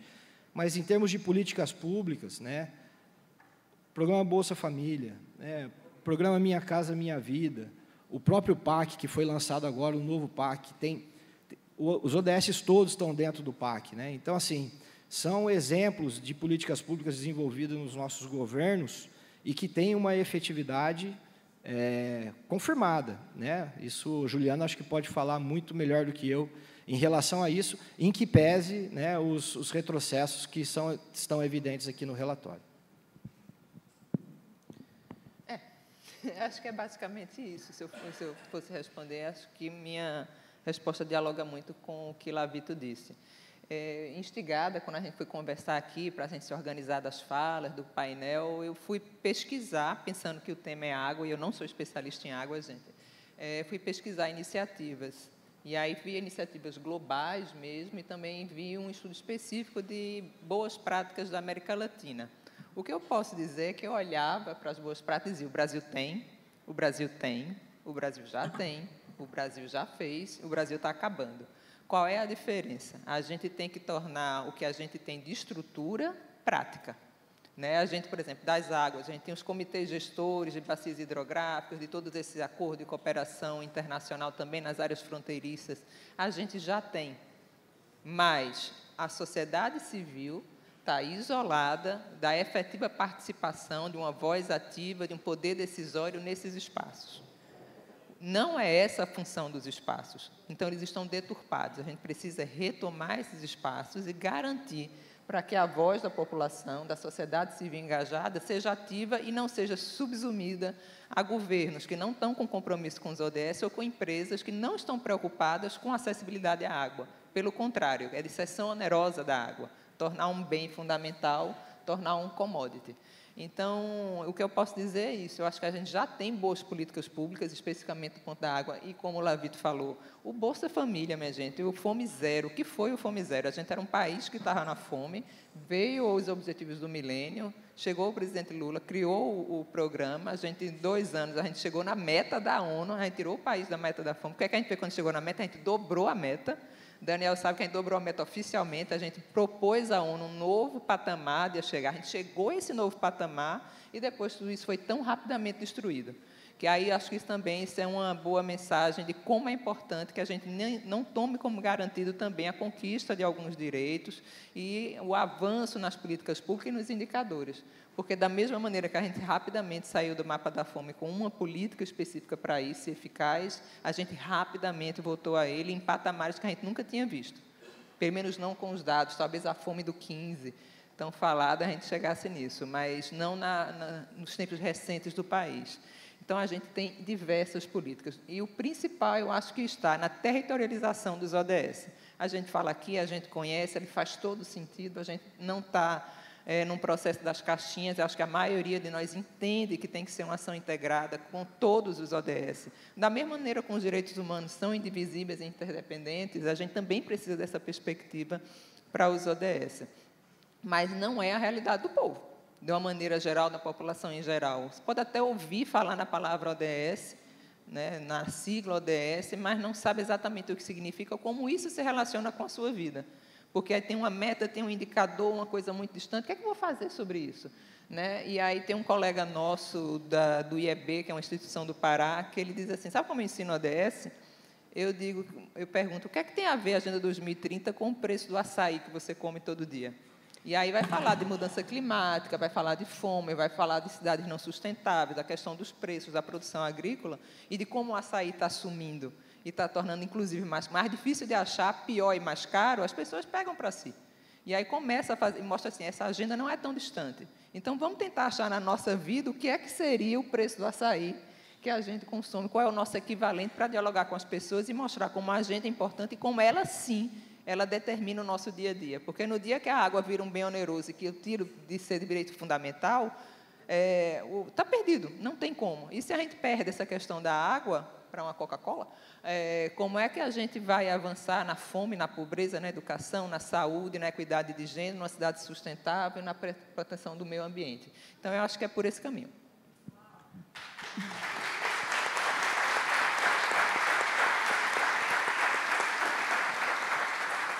Eu gosto muito dessa perspectiva de abordagem também. Eu trabalho com o tema de compliance, anticorrupção. Eu costumo falar que a corrupção é aquele buraco na rua no qual o nosso carro passa todos os dias. É, então, acho que aproximar essas questões da prática realmente do dia a dia das pessoas, das organizações, como a gente tem aqui como missão do nosso movimento. Eu queria aproveitar o gancho, Luísa, não estava combinado, mas como tu pesquisou também sobre políticas públicas, né, sobre esses bons exemplos aqui catarinenses, é, gostaria de saber se você tem algum destaque, algo que você possa compartilhar aqui com a gente dentro dessa pergunta. É, eu vou com, comentar um pouco das, das, duas falas, né, que eu, eu, percebi ganchos ali, desde na verdade da Rio 92, né, o Brasil é referência na questão do desenvolvimento sustentável. Então a gente tem essa essa veia da sustentabilidade na, nas nossas políticas públicas, quando a gente vai estudar as legislações, elas são muito completas, muito avançadas, elas trazem instrumentos para a gente implementar.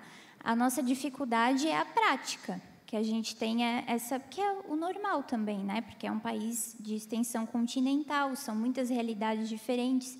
Então, tem, temos que olhar tudo nas suas devidas proporções. É a questão do, da gestão dos recursos hídricos. A nossa política nacional de recursos hídricos ela é dos anos 90 também. Ela traz a questão do enquadramento das águas, a questão da, da qualidade da água, que é você estabelecer padrões de qualidade para consumo da, da, da, não da água em si, mas do corpo hídrico. Então, do tipo de efluente que você vai poder lançar nesse corpo hídrico para ele manter a qualidade. E daí esse foi um ponto que eu esqueci de comentar na minha fala sobre o esgotamento sanitário. Porque quando a gente coloca ali ah, o índice de coleta, né? Só que o esgotamento sanitário, ele não é só a coleta. Ele é a coleta, o tratamento, o transporte, o tratamento e a disposição final adequada. Então, é esse ciclo todo que tem que se completar, que é uma boa prática, que é quando ah, o saneamento é realmente implementado, porque como tem no, na sustentabilidade a gente vê muita coisa que se diz sustentável e não é, a questão do esgotamento sanitário também é preciso um cuidado para não se dizer que está implementando a política pública e ela não ser efetivada no sentido da, da qualidade do corpo hídrico, porque a gente precisa manter a qualidade dos nossos cursos d'água para manter a vida na água, que é o ODS 14. Então, eles estão todos interligados, que, é, que mantém o preço dos produtos, que mantém a qualidade do, dos produtos. Então, está é, tá tudo interligado. E é essa contribuição. Que bom. Temos uma especialista em água, viu? Já pegando esse gancho aqui também, a gente já está se encaminhando para o final. É, se é que a gente pode listar, mas acho que é importante a gente também fazer essa conexão mais prática. Como que vocês veem quais são os ODS mais impactados no sentido dessa ausência de políticas públicas voltadas à água? Né? A Luísa falou aqui do ODS 14, queria ouvir um pouquinho a percepção de vocês é, de quais são esses ODS mais impactados, se é que a gente consegue listá-los. Bem, o que é que se faz sem água? né? É, a gente, no, no, próprio, no próprio capítulo 6, eu acho, do relatório Luz, a gente mostra como o ODS 6 ele é muito interrelacionado diretamente com alguns outros. Aí eu posso dizer, acho que o 1, o 2, o 3, ou seja, fome, pobreza, a saúde, a própria equidade de gênero, porque no lugar onde não há abastecimento de água, quem é que vai buscar essa água? Quem é responsável pelo manejo da casa? Como é que isso vai funcionar? Quem é que leva as crianças que adoecem pela falta de saneamento básico? Quem é que leva essas crianças ao posto de saúde a buscar atendimento médico quando isso isso não acontece, além de estar ligado com os ODS 11, o 13, o 14, né? Então, assim, digamos, mudanças climáticas, a questão da vida na Terra, na vida sob as águas, na Terra. Então, não, é, todo, para mim, eu não consigo imaginar a Agenda 2030 se ela está realmente interrelacionada, e, mas é claro que a gente consegue mais facilmente identificar em algumas dessas relações, e acho que o da água é um que permeia muito, muito. É, mesmo algum que eu não tenha mencionado, como, por exemplo, de consumo sustentável.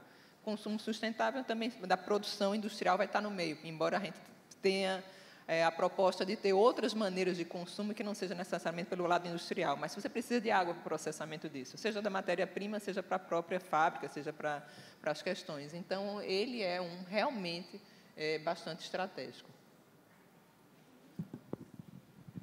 Eu estou na, tô na linha da Juliana, tá? Assim, obviamente que se a gente olha para os cubinhos, a gente vai ali no 6, no 14, mas a gente está falando da molécula da vida, né? não, não tem como fugir. Então, acho que de forma estratégica permeia todos os ODS. Né? E eu queria aproveitar, tem uns minutinhos aqui o final, só para fazer um esclarecimento. Um esclarecimento não, né? O Daniel falou né, do, do, que a ONU já retornou né, com a sinalização positiva em relação ao relatório nacional voluntário. Né? E Juliana também na fala dela disse que a gente não publicava, né, de fato, né? Porque nesse período se confundiu uma coisa muito básica, que é o que é um instrumento de Estado e o que é um instrumento de governo. Eu tenho a impressão que na gestão do presidente Lula a gente não vai cometer esses erros primários, tanto que nós já estamos trabalhando na publicação do nosso próximo relatório é, já fizemos algumas reuniões com os nossos assessores técnicos da comissão, né, IBGE, IPEA, Fiocruz. É, o prazo é muito curto, com certeza é, o relatório que a gente vai publicar o ano que vem vai estar bem longe do que a gente imagina, que a gente gostaria que estivesse, mas a gente não vai se furtar em trabalhar com a transparência, né? Mas quem sabe na COP 30 que a gente vai sediar aqui, a gente não tenha dados muito melhores para apresentar. Valeu. Obrigado.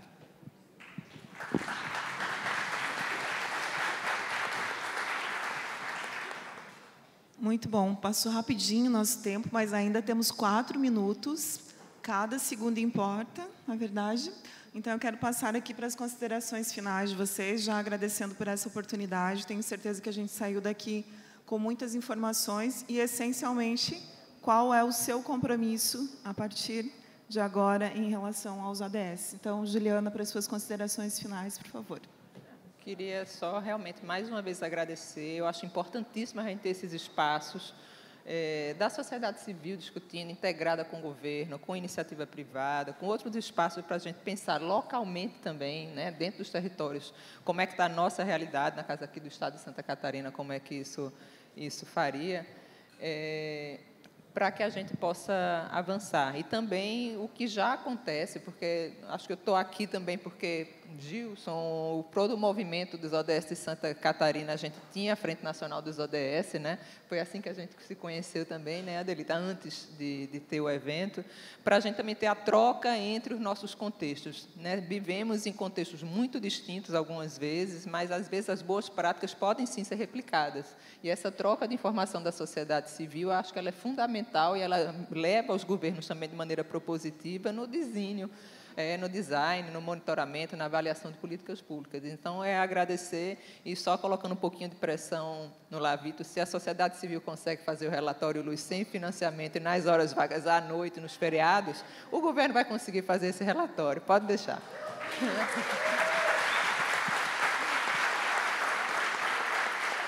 Já que a Juliana deixou a bola quicando lá, Vitor. Pois é, vai, com certeza.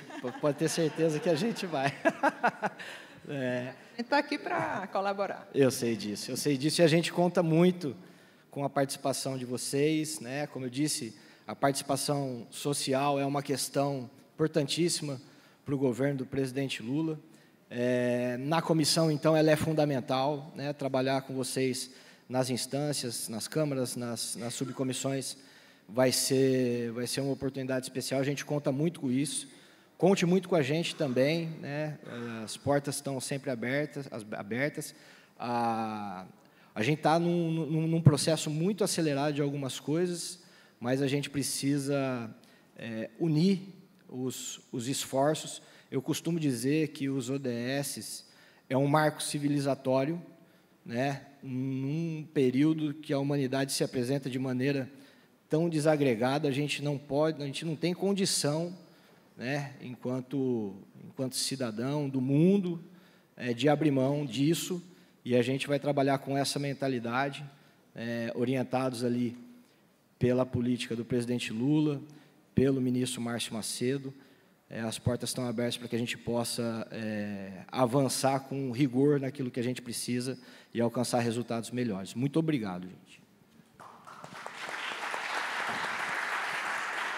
Gente, o painel está tão bom que a organização me deu mais alguns minutos e a gente vai abrir para perguntas da plateia. então, quero ver, alguém já ergueu a mão aqui atrás, não sei quem vai auxiliar. A gente abre para uma ou duas perguntas, vamos ver de acordo com o nosso tempo. Temos aqui a Anne, que eu vejo com a mão levantada. Aqui e aqui na frente, então, a princípio, tá? Ali. Isso. Tá bem. Três perguntas, então. Tá. Bom, bom dia. Primeiro, parabenizar pela, pelo painel. E. Bom, pronto. É, pela dimensão econômica, né? Quero saber o papel do IPEA nisso que vocês comentaram aí sobre é, essa reestruturação, acompanhamento dos indicadores, porque o IPEA é a instituição dentro da, que, que fez os ajustes das metas para as metas para as nossas realidades. Né? Então, como é que fica o papel da, do IPEA? Quarta e quinta, houve, teve um evento do IPEA com a ONU Habitat. Então, eles levantaram a questão de alguns indicadores justamente nessa, nessa questão da habitação. Então, eu queria saber, daquilo que vocês colocaram aqui, o papel do IPEA nesse processo. Obrigada. De, de, desculpa, qual o seu nome? É Anne Marie, de Joinville. Anne Marie? Isso. Ah, tá. Bom dia. Obrigado pela pergunta. É, IPEA, IBGE e Fiocruz estão no decreto né, da, da Comissão Nacional como é, entidades de assessoramento técnico da comissão. Então, assim, a gente sabe, né, apesar do que a gente viveu recentemente aqui, desse apagão que foi, que foi dito, a gente sabe do histórico e do trabalho primoroso que essas entidades realizam para o Brasil em termos da é, constituição, conformação de dados de pesquisa. Então a gente não pôde, não pôde, não quis, obviamente, prescindir dessa inteligência no âmbito da comissão para que a gente possa trabalhar. Uma das ações que a gente vai trabalhar de novo é a revisão das metas né, para o país. Então, IPEA, pela inteligência que está lá, é, IBGE, pela inteligência, e Fiocruz, pelo trabalho que vem desenvolvendo, fazem parte da comissão para nos auxiliar nesse processo de conformação dos dados e de revisão das metas que a gente vai fazer. Obrigada, Lavito. Temos aqui mais uma pergunta, Christian. Muito bom dia a todos. Meu nome é Christian Becker. A minha cidade é Bagé, no Rio Grande do Sul, um dos, uma das 32 cidades gêmeas espalhadas no território nacional. Estou há um ano e meio morando em Santa Catarina. Vou começar do processo inverso. Primeiro, cumprimentando a Amanda pela condução de cerimonial. Acredito que foi muito bem conduzido. O Gilson e todos os demais colaboradores. É difícil fazer uma pergunta para não cercear o direito dos demais, mas eu quero fazer uma breve manifestação. Primeiro, estamos muito bem representados pelo Itamaraty, pelo subchefe-geral dos Objetivos de Desenvolvimento Sustentável, Daniel Lodete. Que satisfação poder te conhecer, que painel, que explanação.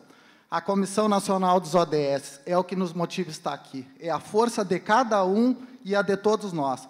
Faço uma pergunta.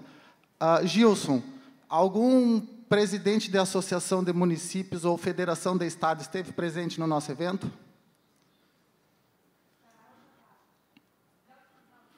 Bom, nós temos 21 associações regionais, 21 colegiados de prefeitos e prefeitas. Na ausência dos gestores públicos, os secretários executivos podiam, poderiam estar aqui para dar a sua contribuição. Não estando, uh, Juliana, faço as tua, as tuas colocações. A sociedade civil não está fora da tomada de decisões. As decisões coletivas deles não chegam na sociedade civil, mas nós estamos aqui para fazer isso acontecer. Tenha certeza, Lavito, que nós estamos muito orgulhosos da tua presença aqui, da Juliana que trouxe a governança do Comitê das Águas. Se nós não temos aqui presidentes de comitês de gerenciamento de bacias hidrográficas. É lá que se faz o estudo, o enquadramento da classe dos usos das águas, é lá que é votado pelos conselheiros as diretrizes dos manejos de recursos hídricos, conforme tu falou a política nacional estabelece. Se nós não ocuparmos os espaços técnicos, se nós não ocuparmos os conselhos e os órgãos de governança da sociedade civil, nós não vamos acelerar o processo da Agenda 2030. Hoje é um marco, estar aqui é um movimento cíclico que me colocou, fico muito feliz e vou levar para o nosso colegiado da região da campanha, para o nosso cônsul geral do Uruguai, que está lá fazendo a governança, a sua representatividade, o seu ministério. Eu tenho certeza que nas próximas agendas das comitivas ministeriais tanto a Comissão Nacional dos ODS, fazendo os encontros binacionais com os territórios fronteiriços, Dionísio Cerqueira, eu em Santa Catarina, e se eu puder me somar, se eu estiver lá, e se todos vocês que aqui estiverem também estarem, tenho certeza que nós estaremos muito bem representados. Muito obrigado, Gilson, pela tua condução, pela força de todos os colaboradores, e que nós possamos sair daqui mais fortes, mais convictos e mais determinados que a Agenda 2030 tem um rumo e nós estamos juntos para construir ela. Muito obrigado a todos. Obrigada. Temos mais uma pergunta aqui, e aí vamos finalizando o nosso painel. Por favor. Bom dia, lindo evento, estou super emocionada com tudo que vocês estão abordando aqui. É, meu nome é Sandra Nicolaisen, eu sou psicóloga, nasci no Rio de Janeiro e moro hoje em dia em Florianópolis. Eu queria levantar um assunto polêmico, que é o uso da água como arma de guerra, que a gente está vendo agora acontecer entre Israel e a Palestina. E quero parabenizar o presidente Lula é, por ter denunciado o genocídio que está acontecendo ali. Então, eles estão sem água. E a gente tem que pensar aqui, o think tank da, do ODS, como a água vai ser realmente. A gente tem o, o, o exemplo agora da água tendo é, sido usada como arma de guerra. Né? Vamos começar a pensar nisso, porque nós estamos no Brasil sentados num aquífero, nós temos água por tudo quanto é canto. Qual é o papel que o Brasil vai adotar diante dessa abertura, desse precedente que hoje existe de uso da água como, como arma de guerra? É isso. Obrigada.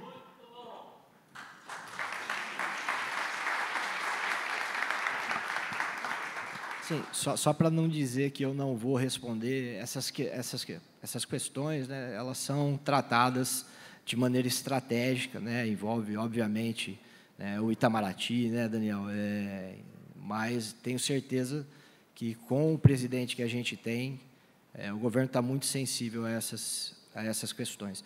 Quero pegar o gancho dos parabéns que você deu ao presidente e dar os parabéns de verdade para ele mesmo, porque hoje é aniversário do presidente Lula, viu? Valeu, obrigado.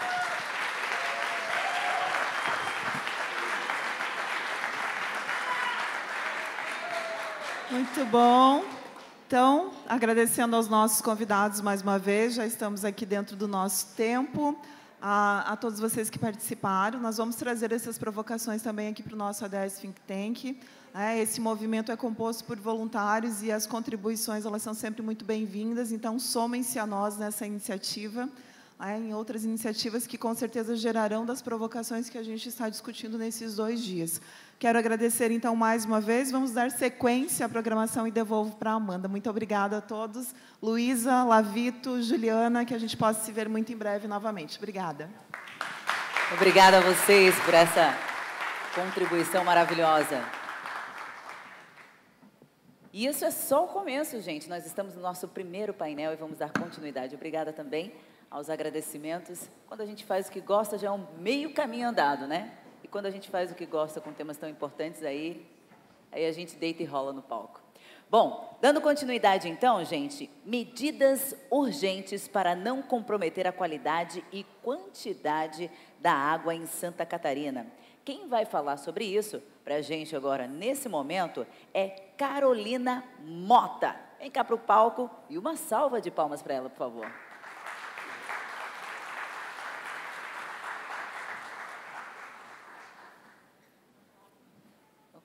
Tem um microfone, sua aguinha.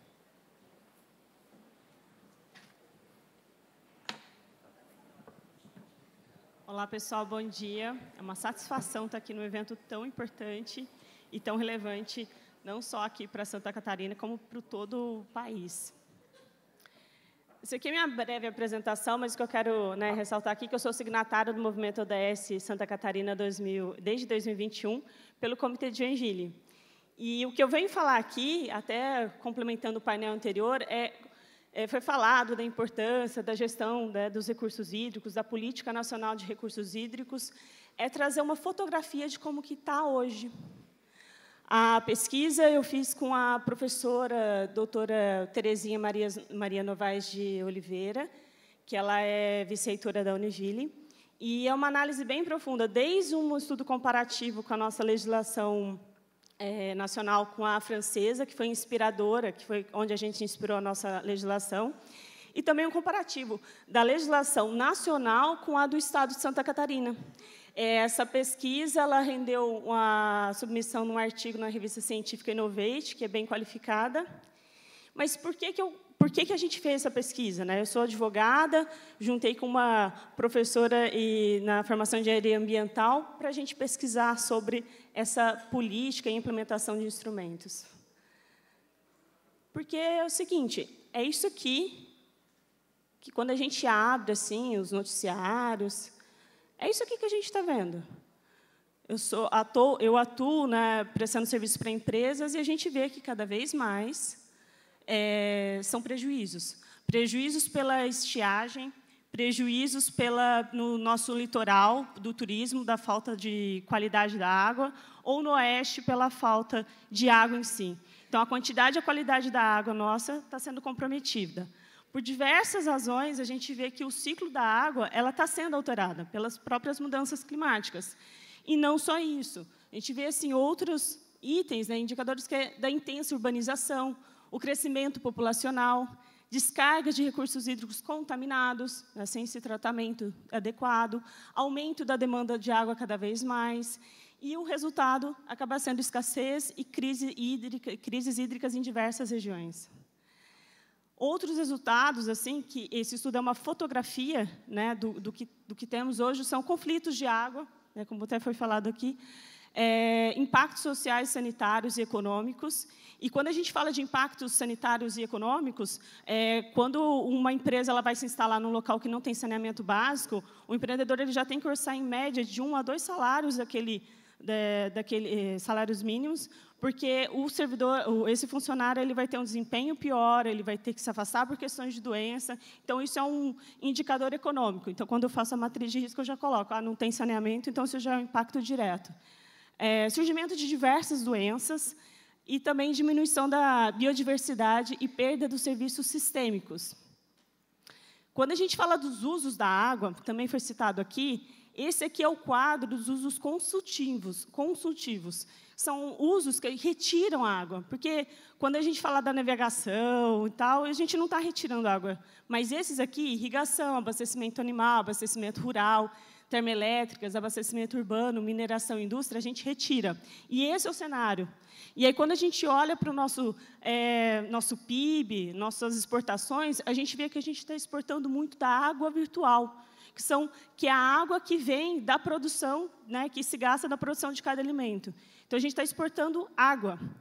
E, e, é isso, quando a gente olha também nas questões da própria legislação, de licenciamento, não tem nenhuma obrigatoriedade legal de diminuição da pegada hídrica. Então, simplesmente, nós consumimos água, é, essa noção de biodiversidade, de abundância, nos faz né, usar água sem, sem, sem se preocupar que vai, vai acabar. E é nesse cenário que a pesquisa começa né, a caminhar que se vê que a gestão de, de Santa Catarina ela não está boa. Porque quando a gente olha o noticiário, que lá no litoral tem dezenas de praias que não estão próprias, e quando a gente olha para o oeste, que está passando escassez hídrica, a gestão não está boa. Mas é por que, que a gestão da água não está boa? E o que está em jogo se a gente não tem uma gestão de água boa? Santa Catarina é extremamente rico, é um estado extremamente rico tem quatro das cidades mais ricas do país, tem um PIB fenomenal, um potencial de crescimento, e é extremamente relevante a discussão da temática da água, dos seus usos e da sua gestão. Porque, é, tentando falar na linguagem econômica, pode e vai comprometer o desenvolvimento econômico. Então, a gente tem que olhar para isso. E quais as ferramentas que a gente tem para a gestão da água? Vamos ouvir, com certeza, hoje, muitos exemplos de empresas que fazem gestão, aproveitamento e têm esse compromisso com a pegada hídrica. Mas se ela não está inserida no ambiente que tem uma política pública que faz a gestão de água, ela acaba que ela não traz um resultado efetivo. A Política Nacional de Recursos Hídricos ela existe há mais de 25 anos e ela tem por finalidade é assegurar que a presente e atual geração tenha disponibilidade de água num padrão e numa quantidade que atenda às necessidades atuais e futuras. Né? E, para isso, ela traz alguns instrumentos. Olhando aqui, primeira coisa que tem, né, dentre os, as características da nossa política nacional, e que se parece muito com a política francesa, é que precisa da governação, é, a participação de todos, tanto do governo, do usuário e da comunidade. Aqui já foi falado, eu queria saber se alguém já participou de alguma reunião de comitê de bacias, alguém já participou em discussões. Olha, aqui já tem bastante gente, mas não chega à metade. A gente está num público extremamente seleto e nós não chegamos à metade. Imagina o resto do Brasil. Então, como que a gente pode fazer com que essa participação ela melhore? Reflita simplesmente para a política nacional. Lá, nessa política também fala um pouco de princípios, de padrões de qualidade de água, dos usos múltiplos de forma centralizada, e que a gestão, né, a implementação da política, ela se dá através da bacia hidrográfica. As ferramentas que tem, aqui tem o objetivo de cada um desses instrumentos para a gestão de recursos hídricos, começa pelo plano de recursos hídricos, que são diretrizes para a gente entender aonde pode extrair água, onde pode fazer o lançamento, quais são os usos que estão nessa bacia. E há um desafio grande, porque tem bacias que vão além de uma cidade, vão além de um estado. E se a gente já tem o desafio né, de fazer a gestão da bacia quando está numa única cidade, o próprio prefeito tem vários interesses em jogo. Imagina quando a gente tem uma bacia com mais de um estado que tem que decidir o que, que vai ser feito com essa água, quem vai tirar essa água, quanto dessa água, né, e para todos aqueles usos que a gente falou ali anteriormente. Também tem enquadramento dos corpos da água, porque é justamente para entender se esse rio, se esse corpo hídrico ele pode receber, ele pode retirar, é, e qual, quais as características. Então, ele tem que ser compatível com o uso que ele vai ser destinado. A outorga dos direitos dos usos, gente, a água é um bem público. É assim como prestação de contas, ela deveria estar disponível no site para a gente entrar lá e para ver quem está usando mais, quem está usando menos e de que forma. Na pesquisa, eu não consegui ter acesso a nenhuma informação de outorga de Santa Catarina. E outra questão, nem de captação, nem de lançamento. Cobrança pelo uso de recursos hídricos. Aqui, é, que justamente é um valor econômico da água. E o valor econômico da água, gente, quem nunca foi comprar a mais, ia comprar, sei lá, um vinho, um macarrão, aí viu que se comprasse com o segundo, teria um desconto de 50%, e aí esse estímulo econômico te fez comprar outro. E também quem nunca passou né, por aquela questão da energia, que está muito alta, dá na bandeira laranja, é, vermelha, acaba economizando energia, porque se ela passa de uma determinada né, quantidade de consumo, ela fica mais cara. Mas isso na água a gente não vê. A gente não vê nem a cobrança, nenhum estímulo financeiro para as pessoas usarem de uma forma mais inteligente. É, sistemas de informação dos recursos hídricos nós temos e é, é um desafio para implementar. Como já foi falado aqui no painel anterior, a pesquisa ela se deu com as informações do pró-comitês. São as informações públicas né, que a gente conseguiu lá disponível. E, na, analisando em cada comitê de bacia que tem aqui no estado de Santa Catarina, a gente vê uma diferença do nível de maturidade de cada comitê para lidar a estruturação, a periodicidade de reunião e vários outros itens. Mas, olhando de forma muito é, objetiva, que também o tempo está acabando, é, da implementação dos instrumentos, que a gente vê que nenhum, nenhum comitê de bacias tem cobrança aprovada. E apenas 13% dos comitês estão estudando para quem sabe um dia cobrar, para quem sabe um dia estimular. Isso que a gente tem, por exemplo, cidade de Balneário Camboriú, que compra água de outras cidades, ela não tem água suficiente para abastecer sua própria cidade. Enquadramento aprovado, que foi estudado, implementado, aprovado, nem metade. Quando a gente fala de plano de recursos hídricos, que a gente, eu acabei incluindo até os vencidos, porque né, no, na pesquisa tem a diferenciação, mas a gente quase 50% a gente tem plano. Então, os comitês não têm plano de recursos hídricos. Como é que, sem o plano, como é que vai fazer a gestão? Sem o plano, como é que vai emitir a outorga? Sem o plano, como é que vai fazer o enquadramento? Como é que vai se fazer a gestão? No primeiro momento, a minha orientadora falou assim, ah, acho que essa política ela não é boa. Quando eu olho esse quadro, eu falo, eu não consigo nem avaliar se essa política nacional é boa ou não. Ela nem foi implementada em Santa Catarina. E aí aqui os desafios, porque a política de Santa Catarina ela veio três anos antes da nacional. Então, o primeiro ponto que eu notei comparando é a falta de compatibilidade entre essas duas políticas, e que é necessário. Quando vem uma política federal, a política estadual existente ela tem que ter uma adequação, e não foi feita. Então, primeiro, é, não utiliza as mesmas normas federais, os requisitos para enquadramento dos rios, Então, a gente está fazendo enquadramento de rio diferente do que o resto do país está fazendo. É, a norma estadual disciplina o, como instrumento somente outorga, e friso, não publica as informações outorga. É, ausência de transparência, como mencionei, não prevê uma comunicação entre o órgão licenciador e o órgão é, gestor de recursos hídricos com aprovação e emissão de outorga. Então, você pede uma licença ambiental, eles exigem a outorga, mas assim não tem um cruzamento de informações, muito menos quando a gente vai fazer de gestão é, de espaços urbanos, com a aprovação do plano diretor e tudo mais. E aí, outra coisa, né, que assim, fechando o último slide para a gente dar um direcionamento, é que se faz necessária uma adequação da legislação estadual, né, comparando com a legislação federal. E a implementação, de fato, da Política Nacional de Recursos Hídricos. A gente já está há 26 anos, acho que já está na hora, né? A fiscalização e o monitoramento dos, do cumprimento dos instrumentos. A gente precisa de algum comitê, de algum órgão que realmente fiscalize a implementação, porque cada instrumento ele tem um prazo de vigência. Então, a gente, eles renovam e a gente precisa é, ser, ser monitorado para implementação é vital a comunicação entre os órgãos, principalmente ambientais e urbanísticos, e o órgão gestor da água, dos recursos hídricos, para tomada de decisão conjunta. E o fator de qualidade e quantidade, ele tem que ser norteador na tomada de decisão das licenças, os planos de diretor e de ocupação urbanística. O que a gente vê muito é a aprovação de loteamentos, de empresas que estão bem ali na zona de abastecimento da cidade e compromete depois todo o abastecimento, quantidade e qualidade da água dessa bacia, que pode né, é, ir além de uma cidade até um estado. Falei rapidinho, mas essas foram as minhas considerações. Depois, ah, no COF, a gente, eu estou à disposição. E muito obrigada pela atenção, pessoal.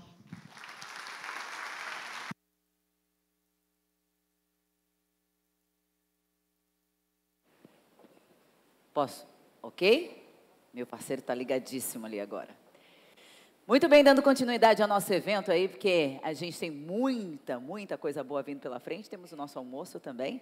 Nós vamos dar continuidade aqui, falando de mais um painel, que é o ODS na gestão das empresas. Lembrando que, gente, que para a hora do almoço, a gente tem parceria com o Sesc Prainha, que fica aqui na frente, né? É, valor de comerciário, apresentando o crachá que vocês têm aí do evento. O restaurante fica bem na frente da Lesc. A comida é gostosa, tem bastante variedade de carnes, saladas. Não estou ganhando o merchan, mas é boa mesmo, tá? Vocês vão gostar, vale a pena. E além disso também, a gente vai dando os recados aqui, enquanto a gente vai colocando o espaço físico para o próximo painel, tá, gente? Para que os ODS sejam alcançados, é necessária a implementação de parcerias entre todos os setores da sociedade. A Associação Movimento ODS Santa Catarina conta com o apoio de parceiros estratégicos por meio de doação em dinheiro ou de produtos e serviços para a realização de suas ações e principalmente para cumprir com as metas dos ODS 17 e ODS 16, por ser uma organização ética e fortalecida. A todos os signatários é aberta uma possibilidade adicional de se tornar apoiador oficial do Movimento Nacional ODS Santa Catarina.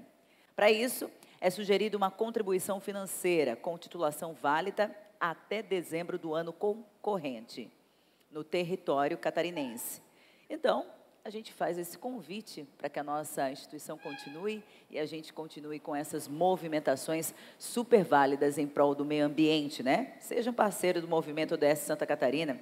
Entre em contato projetos@sc.movimentoods.org.br. Repetindo, projetos@sc.movimentoods.org.br. Lembrando, qualquer registro feito aqui, por favor, marque aí o Instagram, as redes, as redes sociais, arroba Fórum Brasil ODS 2023 e também o Instagram Movimento ODS, tá certo? SC.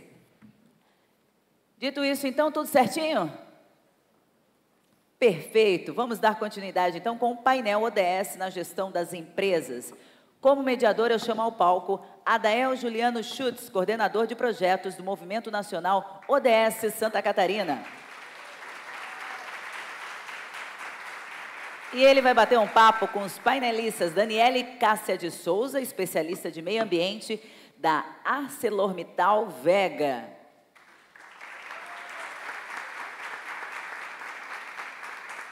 Com ela também vamos ter Josiane Beatriz Galassini, gerente de sustentabilidade na Ailo Sistema de Cooperativas.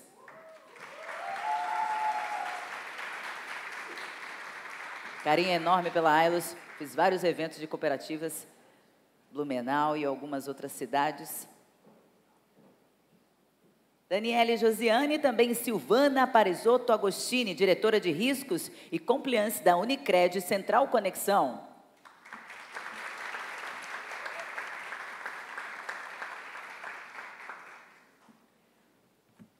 Vamos falar também com Maraísa Mendonça Oliveira, diretora executiva na Regional Santa Catarina da EGEA, e a Osmari de Castilhos Ribas, ele que é diretor superintendente administrativo da Portonave, Terminais Portuários de Navegantes.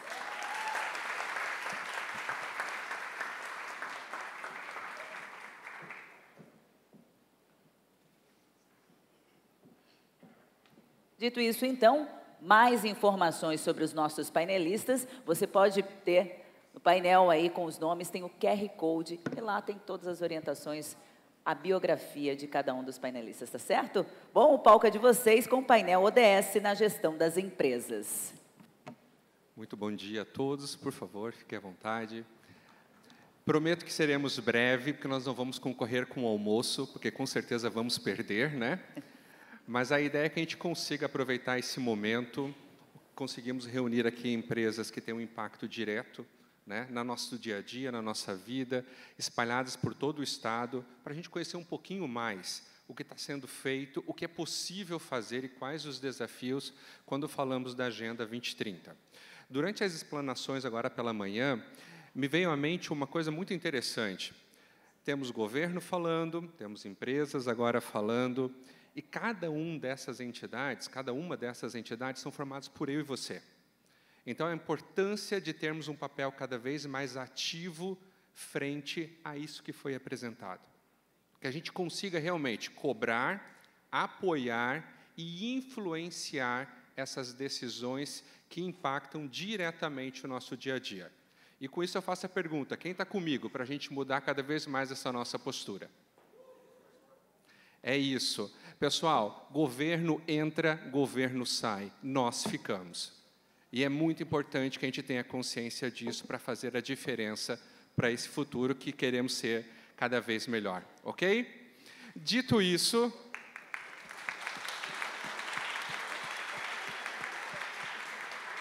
Eu vou economizar o tempo e vamos fazer pela sequência que está ali. Eu convido então a Daniele para fazer a exposição então da ArcelorMittal, contar um pouquinho para nós como que a empresa tem desenvolvido as suas práticas relacionadas à Agenda 2030. Obrigada. Vou levantar para facilitar a dinâmica aqui. Muito bom dia. Obrigada. Então, muito obrigada pela oportunidade. Obrigada aos colegas aqui do painel. É, parabenizo o movimento ODS Santa Catarina pela incrível organização desse fórum. Ontem foi um dia de muito aprendizado, muita inspiração.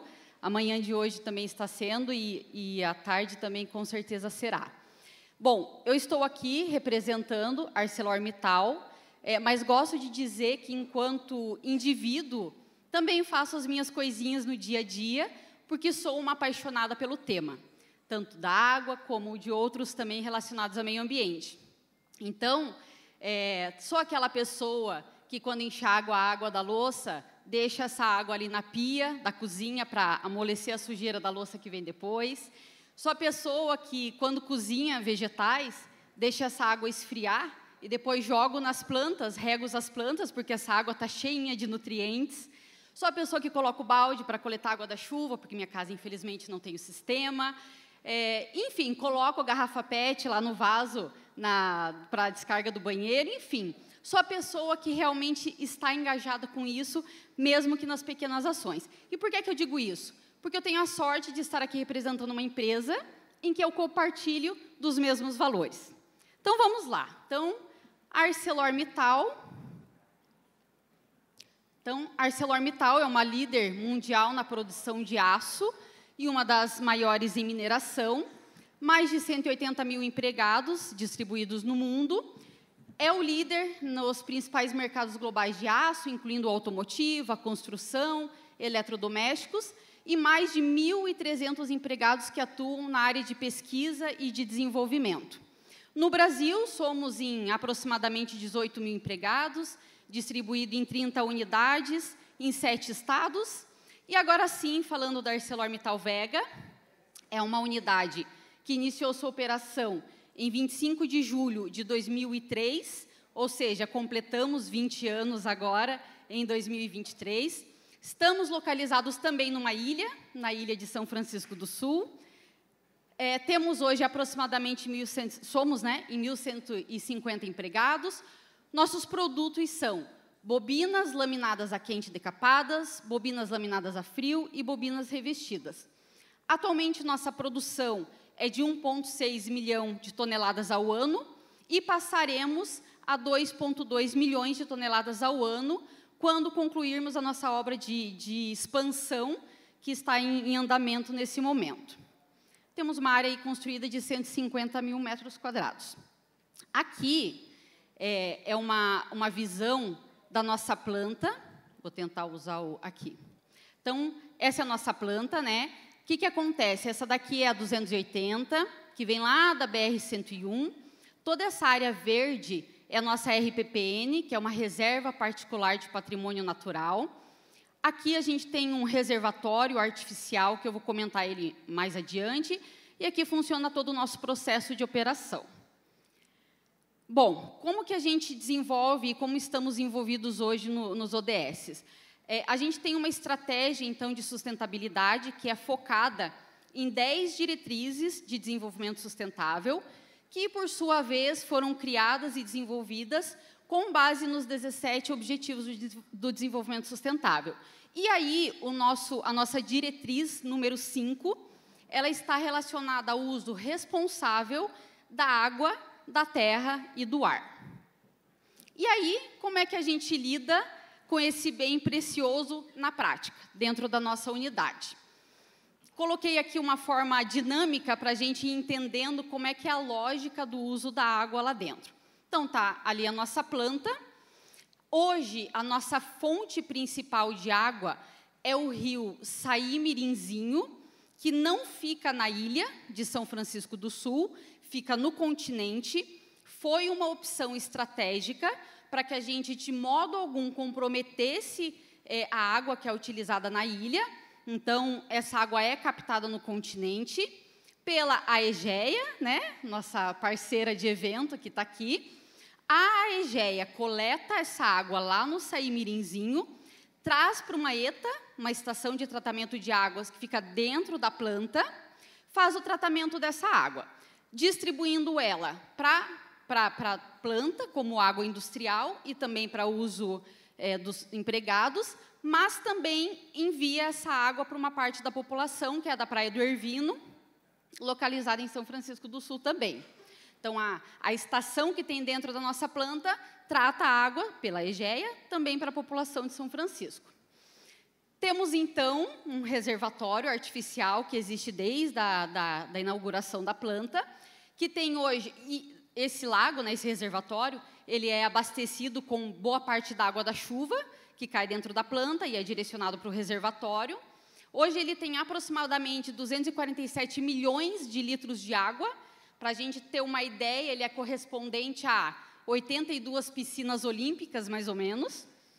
Essa água, então, ela pode ser utilizada, tem toda a tubulação, e isso acontece de tempos em tempos, quando é necessário, essa água ela é captada pela EGEA e pode ser tratada e utilizada no processo industrial para consumo humano por nós e também fornecido para a população. Então, se a gente tem qualquer tipo de problema com a captação da água lá no Saimirinzinho, a gente tem esse reservatório que durante um tempo pode ser utilizado. E aqui um dado bem importante, todo, todo local que tem ali um joinha, é porque a gente entende que é uma ação responsável que a gente tem recirculação de 99% da água. Então, 99% da água utilizada no processo é recirculada. Então, é um número que a gente leva aí com bastante orgulho. A gente perde muita água por evaporação, então a gente tem processos em que a água ela é perdida né, dessa forma. E todo o efluente industrial e sanitário tratado na planta, ele é, é enviado via emissário e é lançado no mar, com critérios é, bastante rigorosos de análise de qualidade, ecotoxicológico, enfim. Todos os monitoramentos são feitos é, e manutenções do emissário feitas com bastante rigorosidade para garantir a qualidade desse efluente tratado que é lançado lá. Então, essa é a lógica, né? Como é que funciona, qual é a sistemática da água de modo bem macro dentro da planta. Nós utilizamos no grupo ArcelorMittal uma metodologia de planos diretores. Então, a gente tem o plano diretor de resíduos e coprodutos, plano diretor de emissões atmosféricas e, claro, plano diretor de águas, que é garantir que periodicamente a gente olha para o assunto água e garante que a gente está tomando ações cada vez mais pensando em redução, recirculação, reuso e tratamento da água. Aí aqui é um dado interessante, né, de na prática como que acontece. Então, passa por dentro da planta o rio da palha. É, ele tem um trecho ali, ele passa, quando ele entra na planta, ele passa por toda a nossa RPPN, né? a Reserva Particular de Patrimônio Natural. Quando a gente faz análises da qualidade dessa água, a gente percebe que a qualidade lá na saída da planta é melhor do que a qualidade que ele entrou. Ou seja, a nossa RPPN ela consegue ter ali uma, uma espécie de, de tratamento, né? ela consegue depurar aquela água que está passando por ali. E aí, nas nossas águas, a gente faz também controle de biodiversidade. A gente tem 20, mais de 20 espécies de peixes que são identificados tanto nesse Rio da Palha quanto no nosso reservatório. Isso, então, demonstra a qualidade que a gente consegue manter da água que está ali no nosso, no nosso ambiente. E aqui é pensando também em processo contínuo. Então, beleza. Então, desde quando a gente implementou a planta, lá em 2003, muitos plano diretor em andamento, discussões e tudo mais, isso sempre acontece. Então, isso é uma coisa viva. Com o projeto de expansão, a gente tem uma unidade chamada Unidade Regeneradora de Ácido. Então, agora é a URA 2, ela vem junto com o processo de ampliação, que a gente está construindo a linha de galvanização 3.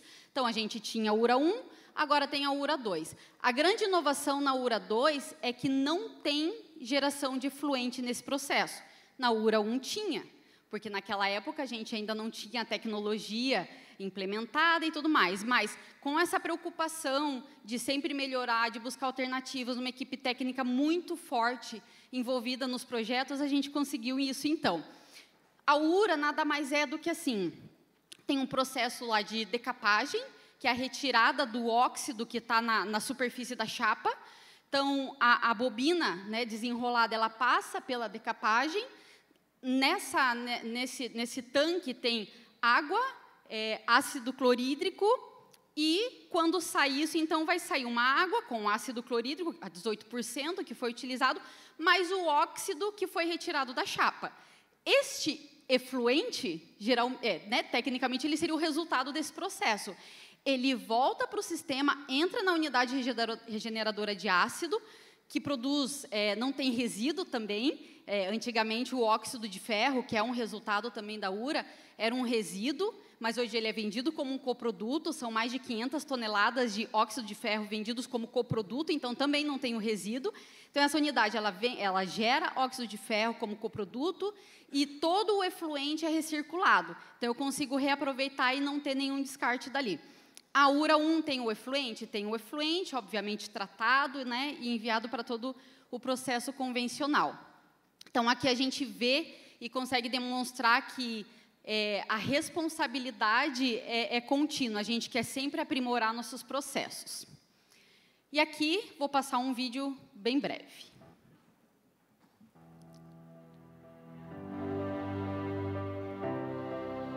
O aço é essencial para o dia a dia das sociedades modernas.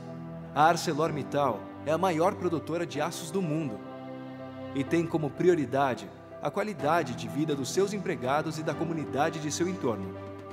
A unidade de Vega, em São Francisco do Sul, desde a sua fundação, sempre esteve comprometida com a preservação dos recursos naturais na região. Cuidar da água é um dever de todos Usar a água com responsabilidade é garantir um futuro melhor. A água é fundamental na fabricação do aço. A ArcelorMittal Vega utiliza a água em seus processos de produção de forma eficiente.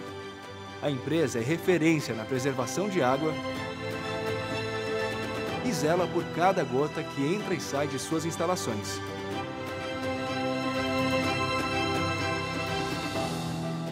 A ArcelorMittal Vega capta a água necessária para a realização de seus processos em um ponto distinto de qualquer outro já utilizado e não compromete o abastecimento público do município de São Francisco do Sul.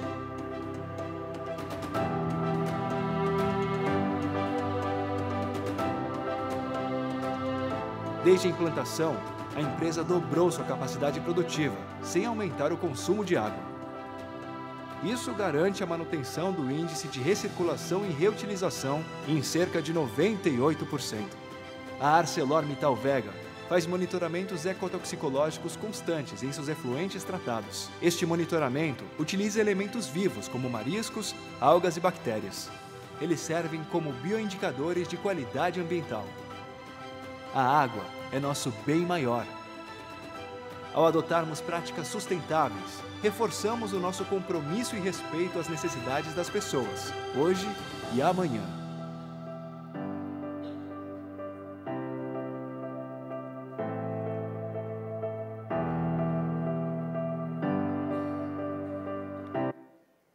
Bom, eh, dois comentários só para finalizar. É, parece, mas esse vídeo não foi feito para esse evento. Esse vídeo ele tem anos já, e, mas ele demonstra então aquilo que de fato a gente faz. Essa é a primeira questão. E a segunda é que eu apresentei, né, representando a nossa empresa e, e toda a nossa área, um pouquinho do que é feito. Então isso é o que a gente fez até hoje. E a gente vai continuar fazendo e fazendo cada vez melhor daqui para frente. E esse é o nosso compromisso. Muito obrigada. Obrigado. Falar de água sempre é atual, né? Importante. Pessoal, eu vou ficar então com a minha colinha, eu vou chamar então a Josiane Galassini, né? Pela colinha mudou um pouquinho aqui. Para apresentar um pouquinho então sobre as práticas, né, de como a, o ODS tem feito parte da estratégia do sistema AILOS. Foi? Bom dia. E eu achando que eu era terceira, porque eu estava te considerando ali o primeiro, segundo, terceiro, a pessoa fazendo conta. Bom dia a todos. É, antes de mais nada, antes de ir para o PPT, é, eu senti que valia a pena fazer uma reflexão aqui né, sobre esses dois dias, essas oportunidades que a gente está tendo. Certamente foram muitas projeções, muitos estudos, muitas informações uh, que chegam a deixar a gente bastante preocupados, né? E é inevitável aquela vontade de sair fazendo coisas diferentes, né? Poxa, eu vou economizar mais, eu vou consumir menos, eu vou gerar menos lixo, vou economizar mais água, enfim é inevitável a gente, quando tem acesso assim, informação é, é, intensa, né, no momento específico como esse, exclusivo, a gente ficar com, essa, com esse impulso. Uh, mas, ao mesmo tempo, é, é, é, é, interessante, porque eu fiz uma colinha aqui para não esquecer, eu fui anotando algumas coisas, mas a gente está num piloto automático, né? E de vez em quando acontece alguma tragédia, de vez em quando, né? ultimamente tem sido com muita frequência, e aí a gente começa a ver comentários nas redes, um movimento muito forte, daqui a pouco baixa poeira, a gente volta para o piloto automático. É muito louco essa vida que a gente está vivendo. E eu sou da época, né? falando em gestão de empresas, e eu acho que a maioria vai lembrar, uh, em que a gente era convidado a separar a vida pessoal da profissional, né? Então, assim, ah, estou com um problema em casa, é lá em casa que eu tenho que deixar. Eu estou no trabalho, é no trabalho. É aquela, era muito separado. E de uns tempos para cá, né, felizmente, a gente vem percebendo que somos um só. E isso vale também para a nossa relação com o meio ambiente. Né? Eu lembro quando a gente, é, é, lá muitos anos atrás, assim, ah, ah, eu comi uma bala, mas joguei o papel no chão. Poxa, mas é só o meu papel. Não, não é só o meu papelzinho, minha embalagem são várias. E assim a gente foi percebendo que as ações individuais somadas, elas impactam no coletivo de uma forma abrupta, né, violenta, assim. Então, é, sou mãe, tenho duas filhas, E a gente vem assim conversando muito sobre essas questões, assim, do nosso papel, de quanto que a gente, como indivíduo, quanto ser humano, pode fazer a diferença. A gente olha para os 17 objetivos, é, os 17 ODS, e pensa que é, é grande, né? Nossa, como é que eu vou contribuir, né, para um trabalho decente e crescimento econômico, eu individualmente. Mas existem muitas ações que a gente pode fazer. E eu gostaria de fazer um convite aqui, é, prometo não me, me demorar, mas olhem ao seu redor, né? Uh, observem quem está aí ao seu redor, olhe esse ambiente, observe o conforto que tem aqui, as oportunidades que a gente tem, o privilégio que a gente tem de estar aqui. Antes de subir, eu fui no banheiro, pensei, ah, eu vou me preparar, e aí parece que tem algum problema técnico e está faltando água nos banheiros. Mas não está faltando água, água aqui no prédio, é um problema técnico. Mas já me deu um nervoso, eu pensei, nossa, e se eu ficar lá no palco apurado, vou ficar um pouco preocupada. E é só um momento, enquanto tem milhões de pessoas que convivem com essa situação diariamente. E aí a gente já fica um pouco incomodado, dá aquela primeira reação qual é? Puxa vida, não acredito, né? no evento de água acontecendo isso, mas vai acontecer. E cada vez mais pelo que a gente está vendo. Como é que foi, desde que você acordou, arrumou suas coisas, tomou café, com quem que vocês esbarraram, como que foi o seu bom dia? Você teve a oportunidade de ser gentil com alguém, você sorriu para alguém, você observou o caminho, você veio dirigindo, veio de Uber, veio de carona, veio a pé. Como é que foi esse caminho? Você consegue refazer esse caminho agora, lembrar como é que foi? Ou quando você percebeu, já estava aqui. O nosso dia a dia está assim no automático. A gente tem percebido muito pouco o que está ao nosso redor. E eu falo, é, isso é presença, né? Nas empresas a gente costuma medir o, presente, o absenteísmo, mas de uns tempos também a gente tem falado em presenteísmo. Quando que a gente de fato está presente ali? E quando a gente fala dos objetivos, é, também eles foram é, formalizados em 2015 na Agenda 2030. Quanto tempo falta para 2030 mesmo? Quanto tempo tem até lá? O que, que vai acontecer nesse meio caminho? A gente muda prazo? A gente, ah, agora não é mais 2030, é 2050. Mas se a gente já está num, num, número de retrocesso, como que a gente vai estar tá daqui a um ano, dois, sete? E a gente sabe que o tempo está passando cada vez mais rápido. Então, assim, essa é uma provocação assim é, muito, muito importante. E o Ju abriu aqui falando muito real, né? Existem políticas públicas, políticas governamentais, empresas que realmente têm compromisso com o meio ambiente, com sustentabilidade, com desenvolvimento sustentável. Tem muitas iniciativas, o próprio movimento ODS é fantástico, mas começa por cada um de nós. E quando a gente fala em gestão, Uh, as empresas têm um papel fundamental. E eu, como gestora, eu olho para cada indivíduo do time, da equipe, da empresa em que eu trabalho. Né? Eu faço gestão da minha casa, eu tenho duas filhas, dois gatos, plantas e essas coisas todas. Mas a, a gestão ela passa por um, uma palavra, duas palavras, na verdade, que é responsabilidade e confiança. Né? Todo relacionamento exige uma confiança. Então, o convite que eu faço, estejam mais presentes. E enquanto o Ju e a Daniele falavam, eu fiquei observando um pouquinho vocês, pouquíssimos estavam com a cabeça baixa no celular. E eu achei isso fantástico, deu um calorzinho no coração. Isso significa que esse público que está aqui, que cada um de vocês está de fato comprometido e interessado nesse tema. E com certeza a gente sai melhor do que a gente entra, mais incomodado, mais preocupado, é inevitável, mas com uma esperança, porque ontem o professor Lindbeck falou: nós temos todas as ferramentas, Está tudo aí. E hoje também foi falado assim. E, agora falta agir, mas como? Fazendo a nossa parte. Empatia, gentileza, gente, respeito e educação. E a gente vai falar sobre isso, educação. Dito isso, para não me alongar, eu vou para o meu PPT e prometo que vai ser bem rapidinho, porque provavelmente eu vou falar mais do mesmo. Mas quando a gente. Como é que passa, João? Esse aqui? E aí, falando disso tudo, eu entro no tema cooperativismo. Né? Nós somos a Central Ailos, que faz parte do sistema Ailos de cooperativas de crédito. Tem 13 cooperativas que atuam fortemente aqui na região sul, e mais uma corretora, que tem como princípio, como valor, o cooperativismo. E esse cooperativismo que a gente acredita é isso, ele nasce da, da transformação de interesses individuais em desenvolvimento coletivo.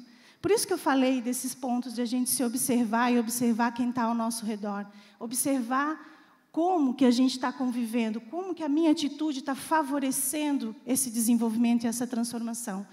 A partir de uma dinâmica de colaboração que simplifica caminhos e viabiliza soluções sustentáveis. A gente pode até não ser a solução final, mas a gente é um meio, a gente faz parte dela. O nosso propósito é, pelo bem das pessoas, cooperamos para transformar vidas, com a missão de promover o desenvolvimento das comunidades por meio de soluções e experiências que se conectam à necessidade das pessoas. E a visão é expandir o cooperativismo, inspirando e incluindo milhões de pessoas. A gente está falando pelo bem das pessoas, a gente está falando de transformação, de desenvolvimento, de atender às necessidades, inspirar e incluir. Tem tudo a ver com, ODS, com os ODS, tem tudo a ver com o que a gente está fazendo aqui. E aí são iniciativas que, de fato, elas se confirmam no dia a dia, porque a gente acredita no que está fazendo. Iniciativas individuais, elas geram transformações coletivas, e esse é o nosso papel. Bom, e aí como entra a cooperativa, o cooperativismo e as ODS? Tem um programa das Nações Unidas para Desenvolvimento. Em 2018, ele firmou parceria com a OCB, que é a Organização das Cooperativas aqui do Brasil, para promoção e alcance dos ODS aqui no país. E também tem parceria com o SESCOP, que é o Serviço Nacional de Aprendizagem do Cooperativismo. Esse programa ele reconhece a importância das cooperativas, né, como parceiras essenciais do progresso do país. As cooperativas elas têm um papel muito importante, impacto positivo para as pessoas. A gente desenvolve, a gente está é, em regiões é, é, periféricas, a gente está no bairro, a gente não está no centro, a gente atende as pessoas, a gente tem um compromisso de cidadania, de inclusão financeira. E a educação faz parte disso. A gente vai falar muito sobre pessoas e educação, não só acesso à informação, mas a capacidade de olhar para essas informações e entender o papel, o nosso papel nesses números e nesses estudos todos que são apresentados.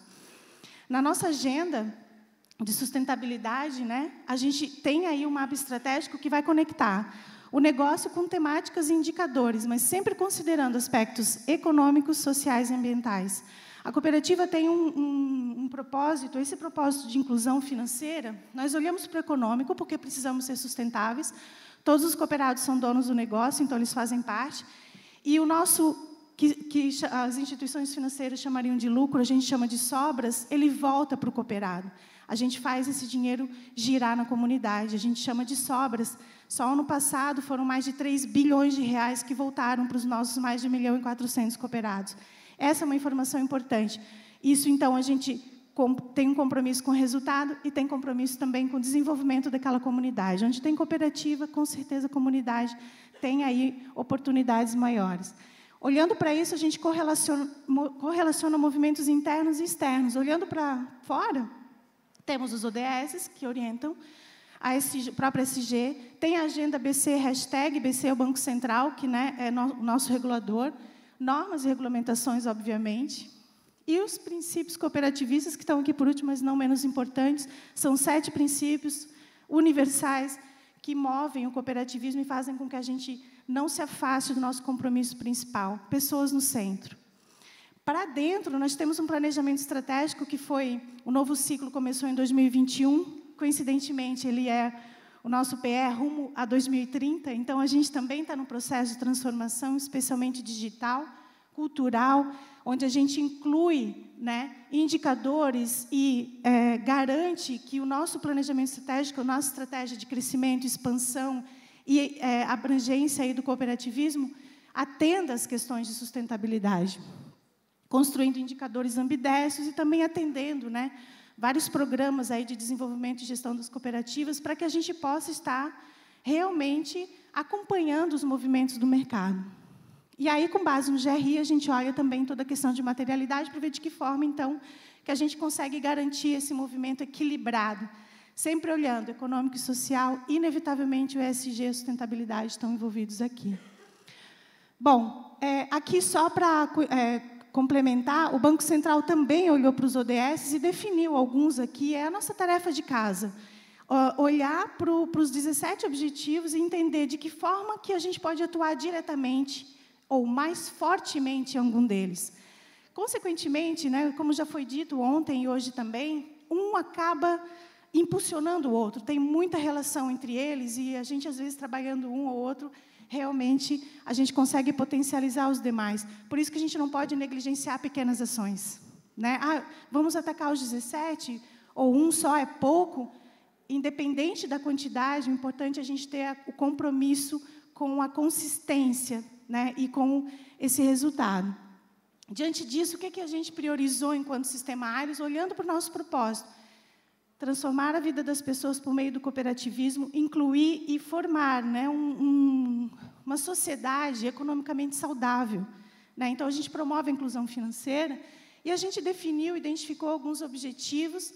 O um, daí tem as metas específicas aqui, mas vejam, até 2030 garantir que homens e mulheres, particularmente os pobres e as pessoas em situação de vulnerabilidade, tenham acesso a serviços sociais, infraestrutura básica, novas tecnologias e meios para a produção é, serviços financeiros e segurança no acesso equitativo a terra e os recursos naturais. Quando a gente olha para essa, essa questão, assim, garantir esse acesso, né, nós temos como principal produto o crédito.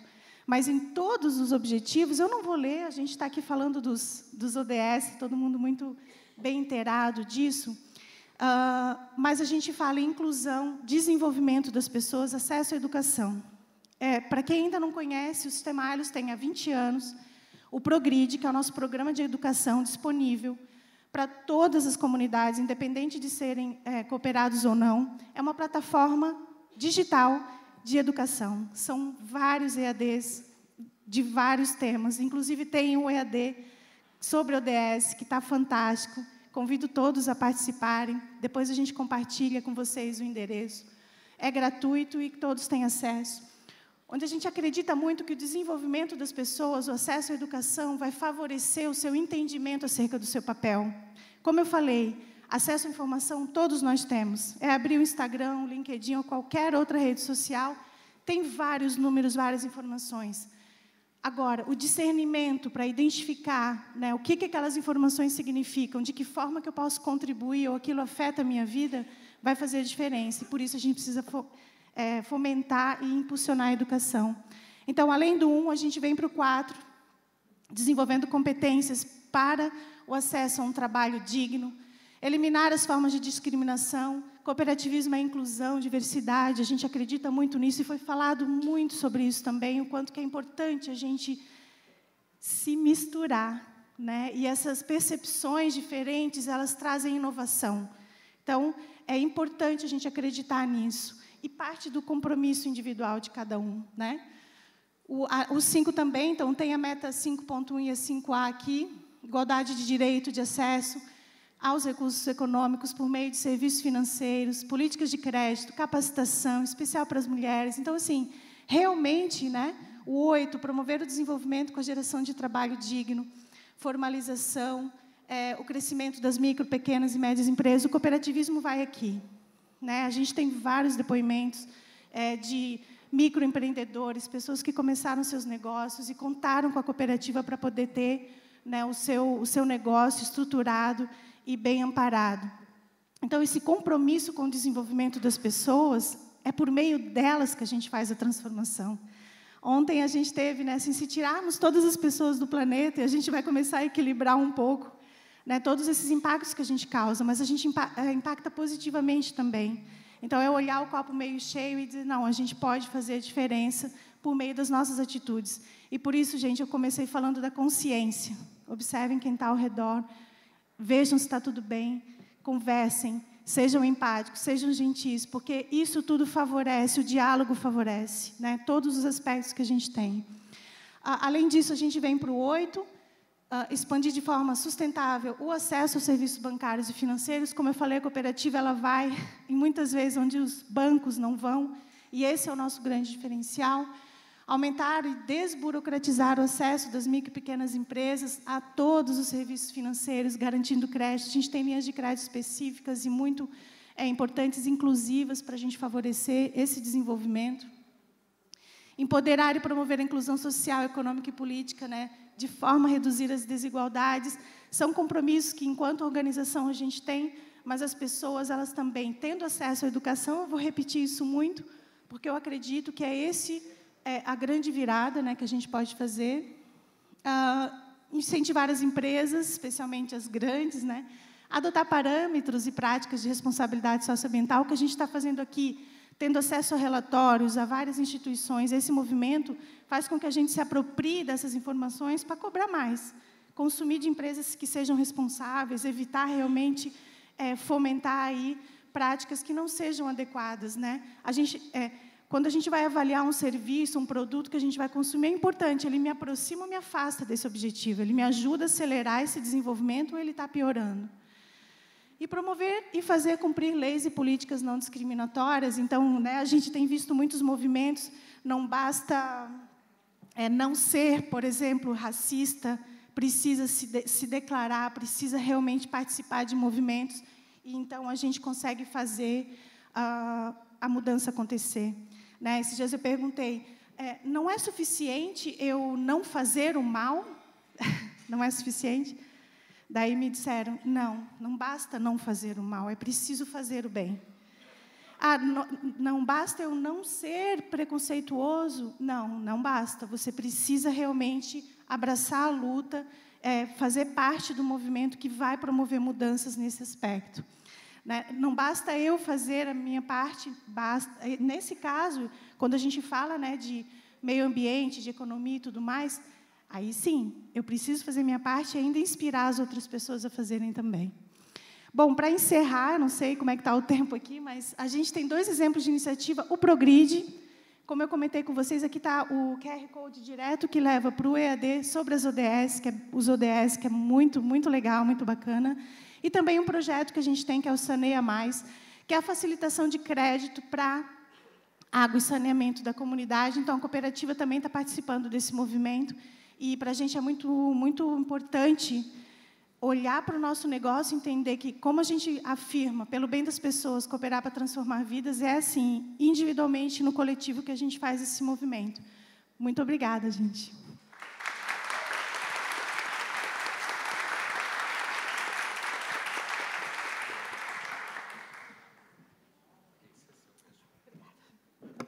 Como diz a frase, a palavra convence, o exemplo arrasta, né? A gente precisa cada vez mais trazer esses exemplos. Aproveitando, já passo então a palavra para a Silvana, da Unicred, para contar para a gente um pouquinho, então, essas práticas do ODS na gestão.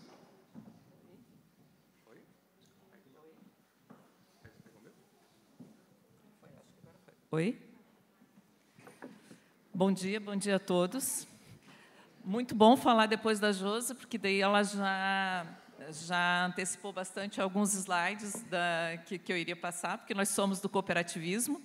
Então, eu sou da Unicred, uh, ela é do, da AILOS, mas nós somos do cooperativismo e é isso que nos move. Uh, e a ideia era passar as primeiras telas aqui justamente para a gente falar um pouquinho sobre o cooperativismo. Em primeiro lugar, assim, agradecer muito de a gente poder participar desse evento.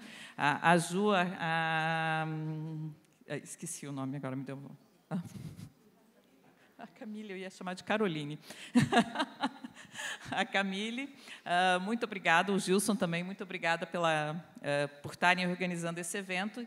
E a gente está muito feliz de poder participar desse evento representando o cooperativismo. A gente vê uh, tudo que a gente viu de ontem para hoje falando bastante sobre a importância das iniciativas públicas, mas a privada tem uma responsabilidade gigante, e é onde a gente tem que cada um fazer a nossa parte.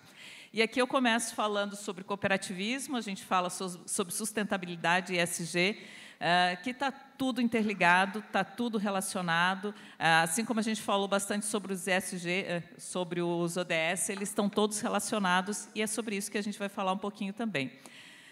Aqui só falando sobre o, que é o cooperativismo, né? A, Josi falou brilhantemente também. Eu gosto muito desse conceito atualizado que a gente tem no, site da OCB, que é a Organização das Cooperativas Brasileiras, né? Uh, vocês me permitem que eu vou ler a primeira parte. Mais do que um modelo de negócio, cooperativismo é uma filosofia de vida que busca transformar o mundo em um lugar mais justo, feliz, equilibrado e com melhores oportunidades para todos. Um caminho que mostra que é possível unir desenvolvimento econômico e desenvolvimento social, produtividade, sustentabilidade, o individual e o coletivo. É nisso que nós do cooperativismo de crédito acreditamos. E é nisso que a gente se move cada dia. Agimos por princípios, né, Josi, né, Juliano? Agimos por princípio, buscamos isso, não é, não é de agora, não é por causa do, do ISG, não é por causa dos ODS, isso tá no, está nos nossos princípios, né? Então, a questão de, de termos a participação econômica dos, dos membros ativos, a educação, intercooperação, interesse pela comunidade, isso vem do nosso DNA. Isso vem que a gente precisa passar para todos os nossos colaboradores e para toda a comunidade. E aí nós atuamos em vários segmentos. E no cooperativismo de crédito não é diferente, é muito mais forte também, porque aí a gente tem a parte econômica. Se a gente não tiver uma boa parte econômica, a gente não vai conseguir dar os passos que a gente precisa dar até 2030. Então, nós temos um papel muito grande realmente de atuar nisso. Além dos princípios, nós utiliza, uh, somos movidos pelos nossos valores, e aí tem a liberdade, igualdade, transparência, responsabilidade, responsabilidade social, principalmente, né, Josi, quando a gente fala de instituições financeiras, o Banco Central, que é o nosso regulador, Uh, nos monitora muito e além de sermos monitorados pelo Banco Central, isso está na nossa par, no nosso DNA realmente de estarmos preocupados até para quem vai o nosso crédito. Né? Então, o nosso produto principal é o crédito, mas para quem que está indo esse crédito? Esse é um grande papel que a gente que tem de mover realmente e a gente ajudar os nossos cooperados a terem cada vez mais a importância dos ODS, dentro da, das suas empresas, porque sem nos preocuparmos com esses ODS, lá na frente nós não teremos empresas sustentáveis, não teremos economia ativa para realmente a gente conseguir atingir os nossos objetivos. Né? Ah, dentro dessas práticas alinhadas, fecha exatamente com o que a gente fala bastante sobre ESG, que veio realmente da, uh, da União de Instituições Financeiras preocupadas com o futuro realmente do que possa estar gerando os negócios. Né? Então, qual que é o nosso grande objetivo? Impactar positivamente a sociedade, gerar valor para o nosso cooperado e para a cooperativa. Né? E, com isso, nos conectarmos aos nossos princípios, como a Josi já falou, e a gente já falou anteriormente, é que sempre o convite para que todos possamos participar de, todos os de todo o cooperativismo. Né? Então, uh, fazer parte, assim como a, a Daniele, a Daniele falou assim, o dia a dia, né? No dia a dia, a gente precisa realmente pensar na água e pensar em todos os quesitos que possam estar nos conectando, né? Também falando um pouquinho dos objetivos estratégicos da Unicred, não é diferente da AILUS, né? Então a gente tem um planejamento estratégico preocupado com o futuro. Uh, também temos a questão de Banco Central, mas aqui tem quatro tópicos que a Unicred foca muito, que está programado no nosso planejamento estratégico, é foco no nosso cooperado, atenção do cooperado sempre no centro. A credibilidade, como instituição financeira, nós precisamos muito de credibilidade, então todos os nossos passos precisam ser pensados na longevidade, na credibilidade crescimento, precisamos crescer, precisamos crescer fortemente para que cada mais uh, um percentual da população conheça o cooperativismo de crédito, para que realmente a gente possa trazer o cooperativismo de crédito para as nossas comunidades, para que a gente possa ajudar fortemente as nossas comunidades. Né? Pessoas, tudo isso é movido por pessoas, não só as pessoas das nossas equipes, mas todas as pessoas envolvidas na comunidade. Então, temos uma preocupação muito grande com as nossas equipes, com a questão de diversidade, pensando nas competências do futuro, para que realmente a gente possa ter todas as nossas equipes engajadas realmente no futuro e preocupadas com a longevidade e sustentabilidade do planeta que nós vamos deixar. Falando já de ações de sustentabilidade do, do sistema Unicred, a gente tem um, um pouquíssimo tempo aí, realmente, a gente está concorrendo com o almoço, né, Juliano? Mas aqui, falando um pouquinho do sistema Unicred, eu, eu sou da Unicred Central Conexão, nós somos a união de sete cooperativas, que estão, a maioria, situadas em Santa Catarina, mas temos muitas agências no Paraná e hoje a gente já tem agências em Brasília, Norte já temos em Belém, Manaus, Salvador, Aracaju já temos várias partes do país e o grande objetivo realmente é a expansão do cooperativismo de crédito. Atendemos hoje 125 mil cooperados nessa, ne, nesse universo de sete cooperativas, e aí a gente já começa com algumas sinalizações. 36% são mulheres, então são mulheres que já fazem parte do nosso quadro de associados. E aqui, para o outro lado, a gente, nós que é, qual que é o laser? É o primeiro? Acho que é. Não, não sei. Ah, não, nós temos, não tem problema. Uh, os 849 colaboradores, uh, 70% são mulheres, né? então nós temos a grande maioria realmente é mulheres dentro do, uh, da, das nossas colaboradoras.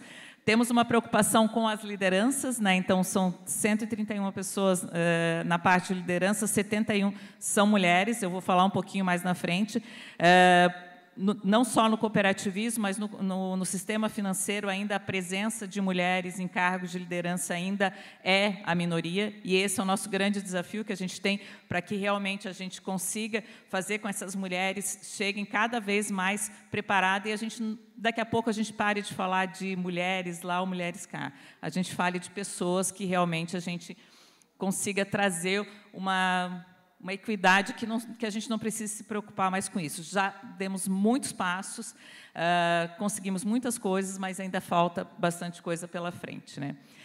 Aqui já falando em impacto positivo, assim como a Josi já falou, em alguns números grandiosos, né? os nossos números não são tão grandiosos quanto, quanto os da Ailos, mas a gente tem muito orgulho dos números que nós estamos conseguindo como, como sistema Unicred, o Conexão. Né?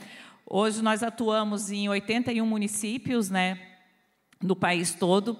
Em matéria de resultado, isso que a que, que, foi comentado anteriormente, nós temos sobras, nós não temos uh, lucro, né? então toda a nossa sobra é retornada aos cooperados, é retornado ao local. Né? Então, são mais de 93 milhões que o ano passado foram devolvidos aos nossos cooperados, 46 milhões também de juros ao capital que foram entregues aos nossos cooperados. Né? Então, mostrando sempre que aquela movimentação do crédito, da aplicação que é feita localmente, ela retorna localmente. Né? Foram mais de 116 uh, eh, mil itens uh, com ações uh, de doações, ações locais que são feitas pelas nossas cooperativas. na parte de investimento, são 18 milhões, ali até foi colocado como FATS, que é o nosso Fundo de Assistência Técnica, Educacional e Social, que parte das nossas sobras já são destinadas para isso. Mas aqui, além do FATS, a gente tem várias cooperativas que têm ações e têm projetos muito fortes ligados na parte social. Aqui eu gostaria de, eh, até de destacar que aqui é da cooperativa da Valor Capital, que atende Florianópolis, que tem um projeto que a gente chama Projeto Somar, que até tem o mesmo nome do, de uma ação que tem da Prefeitura, mas nós somos o projeto Somar. E dentro desse projeto Somar, a gente tem histórias fantásticas na parte social, uh, que atendem as comunidades aqui na, na, região de Florianópolis. Também convido vocês a pesquisarem isso na, nos sites. Né? Uh, foram mais de 28 milhões destinados aos nossos colaboradores, como benefícios, uh, acompanhamento, coisas extras de trabalho. Então, desde um acompanhamento uh, uh, de terapia, uh, adicionais para valores de uniforme, alimentação, que, que, são benefícios extras que a gente consegue repassar aos nossos colaboradores, porque nós acreditamos realmente que precisamos ser uma marca empregadora e trazer cada vez mais a vontade das, dos nossos colaboradores engajarem dentro do sistema Unicred e dentro do cooperativismo para que a gente possa estar angariando cada vez mais pessoas para dentro do cooperativismo. E além desses valores, também foi, uh, foram mais 976 mil que foram destinados a ações que daí não são ligadas a cooperados ou a funcionários, são ligadas à sociedade. Então, isso estamos falando de números do ano passado. De impactos, assim como a Josi falou, o nosso produto é crédito, né? então temos todos os produtos relacionados a instituições financeiras, mas aqui a gente vai dar destaque para o crédito. Né? Uh, alguém falou no fórum anterior da importância de a gente ter os indicadores, né? Esse é um grande desafio, né? Nós termos indicadores, né? De a gente poder uh, trazer indicadores. Também sou da área de compliance, né? Então a gente tem é, bastante preocupação de a gente poder estar monitorando e acompanhando, e aqui a gente consegue já ter uma noção de valores. Né? Uh, para a economia verde, o sistema Unicred da Central Conexão foram mais de 2 bilhões destinados à economia verde, que está relacionado ali, que os bancos já atuam fortemente. Além disso, foram 141 milhões destinados a financiamento para a energia solar e 15 milhões para veículos sustentáveis. Né? Então, isso são linhas de créditos diferenciadas que tem dentro da cooperativa para que a gente possa estar cada vez mais incentivando e trazendo essa visão de sustentabilidade também para os nossos cooperados. Além dessa, de, de, dessa parte de produtos para os nossos cooperados, nós também temos uma preocupação Aqui uma foto mostrando uma, uma, uma, usina fotovoltaica que foi implantada em uma das nossas cooperativas, a nossa cooperativa uh, Unicred União. Depois eu vou falar um pouquinho mais para frente. Mas qual que é um dos nossos objetivos já para 2024? Que mais de 90% das nossas agências já sejam autossustentáveis na questão da produção de energia. Também dentro da parte de sustentabilidade, aqui eu vou passar rapidamente também mas a parte do, da governança para uma instituição financeira ela é extremamente importante uh, e isso faz com que a gente traga cada vez mais credibilidade para dentro das instituições financeiras. Então, nós temos toda a parte de governanças e comitês uh, para que tragam maior transparência para, para os nossos cooperados e comunidade. Aqui eu gostaria de dar destaque para a nossa comissão de ética, canal de ética e canal de, da mulher também, sempre uma preocupação para que a gente tenha um acolhimento realmente e um atendimento cada vez mais humanizado em todas, a, em todas as esferas que, que a gente possa estar vendo dentro da cooperativa. A parte de educação financeira também já foi falada bastante uh, pela Josi na, na AILOS, né? Uh, também tá, faz parte do nosso DNA, dos nossos princípios. Aqui eu trago a nossa unicred.edu também, que é uh, onde a gente também tem a, a, questão de participação, de falar da, da, parte de educação financeira, não só para cooperados, mas para a comunidade. A exemplo também da Josi falou, também esses arquivos estão essa, essa, essa, escola de negócios, como a gente chama também, ela está disponível para toda a comunidade. E para vocês terem uma ideia de números, né, então foram 166 eventos realizados no, no ano passado, mais de 570 horas envolvidas, 460 mil uh, investido em ações, mais de 40 uh, ah, mil pessoas impactadas e, principalmente, 530 colaboradores envolvidos. Então, isso que a gente quer trazer, que o nosso colaborador esteja realmente envolvido nessas causas. Além de questões de ações sociais, também temos uma preocupação muito grande com a parte da cultura. Né? Então, a gente tem muitos projetos voltados à cultura, não só dos nossos colaboradores, dos nossos cooperados e da comunidade como um todo. Então, para que realmente a gente consiga pegar todos esses eixos e a gente busque realmente para que cada vez mais isso seja um acesso comum a todas as pessoas que estejam uh, ligadas ao cooperativismo. E aqui eu queria parar um pouquinho mais no destaque uh, de, de, um, dos, do, um, um dos nossos cases, né, uh, de, de, muito sucesso, que a gente ficou, tem uma, um, um, carinho muito grande, é que justamente ligado, acabei não comentando, mas vocês devem ter percebido que lá em cima a gente tem todos os ODS e a gente se passa cada um dos ODS, justamente assim, foi uma forma de é, aculturar internamente as nossas equipes, aos nossos dirigentes, a comunidade, onde a gente coloca todos os princípios e aí internamente a gente vai orientando para que cada um fique se encaixando ali aonde, aonde se enquadra e aonde a gente consegue se desenvolver. Então, acabei esquecendo de falar, mas vocês acabaram percebendo. Aqui eu queria falar um pouquinho sobre mulheres cooperativistas, né? Esse projeto foi iniciado dentro de uma cooperativa, a Unicred Vale, coordenada pela Amanda, que até que está nos acompanhando.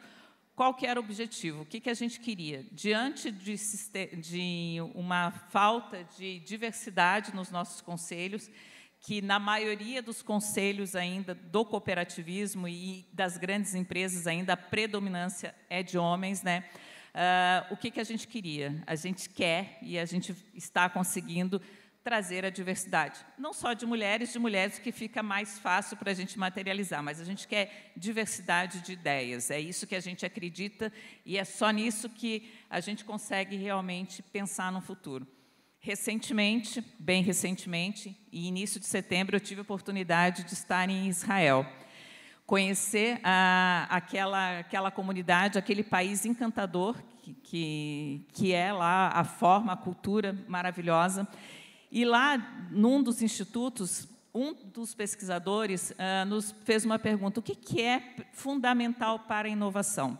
E aí vem aquele monte de, de pensamento: ah, tecnologia, dinheiro, investimento. E ele olha e diz: não, fundamental para a inovação é a diversidade. Pô, na hora que ele fala aquilo, parece assim, ó, que um monte de. Obrigada. Parece que um monte de pecinhas do quebra-cabeça se encaixa e faz todo sentido. Se não tiver diversidade, não, não, a gente não vai conseguir realmente. Né? Então, essa era a nossa preocupação. Continuamos com essa preocupação, né, Amanda? E aí eu tenho mais colegas da, da Unicred aqui dentro. Dentro das mulheres cooperativistas, começamos esse programa desafiador, até pós-pandemia, né, como juntar essas pessoas. Começamos com um projeto online, uh, inscrição gratuita, a gente faz todo o engajamento antes para que a gente consiga que essas, que essas mulheres estejam engajadas, para que a gente possa participar desses eventos.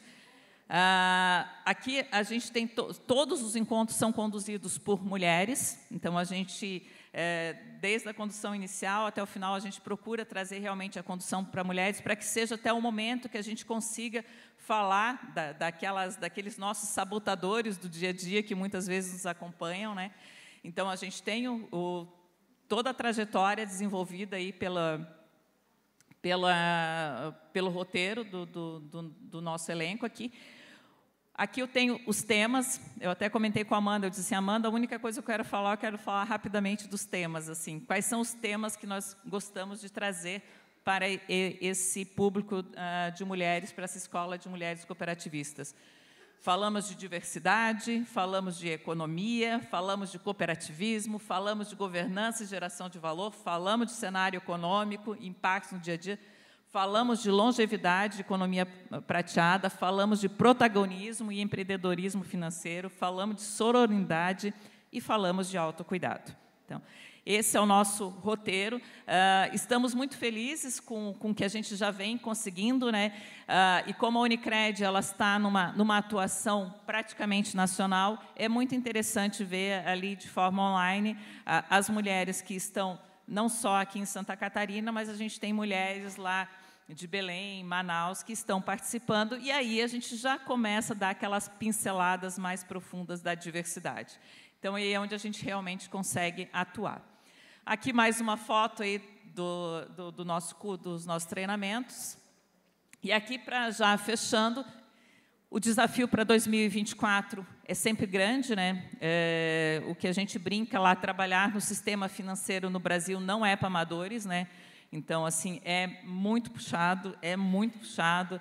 A legislação, instabilidade política e econômica é muito grande, isso traz um desafio muito grande para nós do sistema financeiro. Então, além de termos o sistema financeiro, a gente tem que engajar toda essa parte também, que a gente acredita que isso é que vai trazer longevidade para a cooperativa. Aqui a gente só traz alguns tópicos, né, na parte ambiental, a construção de usinas, neutralização de CO2, temos gincanas aí de eco, ecocooperação, gestão de, re, de resíduos, né? Uh, tem a Suelen aqui que, tá, que também está junto aqui comigo, que ela representa o projeto Somar, que aqui na parte da gincana de ecocooperação aí a gente está tendo resultados gigantescos, né? A parte cultural, né? Então apoio, patrocínios, vivências institucional, uh, apoio social faz parte do nosso DNA isso, então a gente tem muita preocupação e a gente traz isso para o nosso dia a dia. Aqui a gente tem uma frase que a gente sempre gosta de falar, que a sustentabilidade não é sobre o meio ambiente, mas também sobre criar sistemas e modelos que prosperem. É nisso que a gente acredita que realmente seja a sustentabilidade. Mais projetos aí para 2024, né? Uh, também essa fala de pensar global e agir local, eu acho que a gente falou bastante sobre isso. Então, assim, ó, de a gente ter a preocupação global, mas que a gente faça, cada um de nós faça a sua pequena parte, né? Então, mas que a gente consiga pensar naquilo melhor. Falta muito, mas já conquistamos muito. Então, eu acho que é nisso que a gente precisa realmente acreditar, né? Ah, e por final, né, é, quando a gente fala bem de ODS, ao nos direcionar para os ODS, estamos comprometidos com um mundo melhor, mas também com um futuro empresarial mais sustentável e longevo. É nisso que a gente acredita, é nisso que a gente entende que realmente unindo todas essas forças a gente vai conseguir atingir com uma velocidade maior ainda. Obrigada mais uma vez pela participação e parabéns e vamos aproveitar ainda o período da tarde e o final do nosso nosso painel aqui. Obrigada, Helena.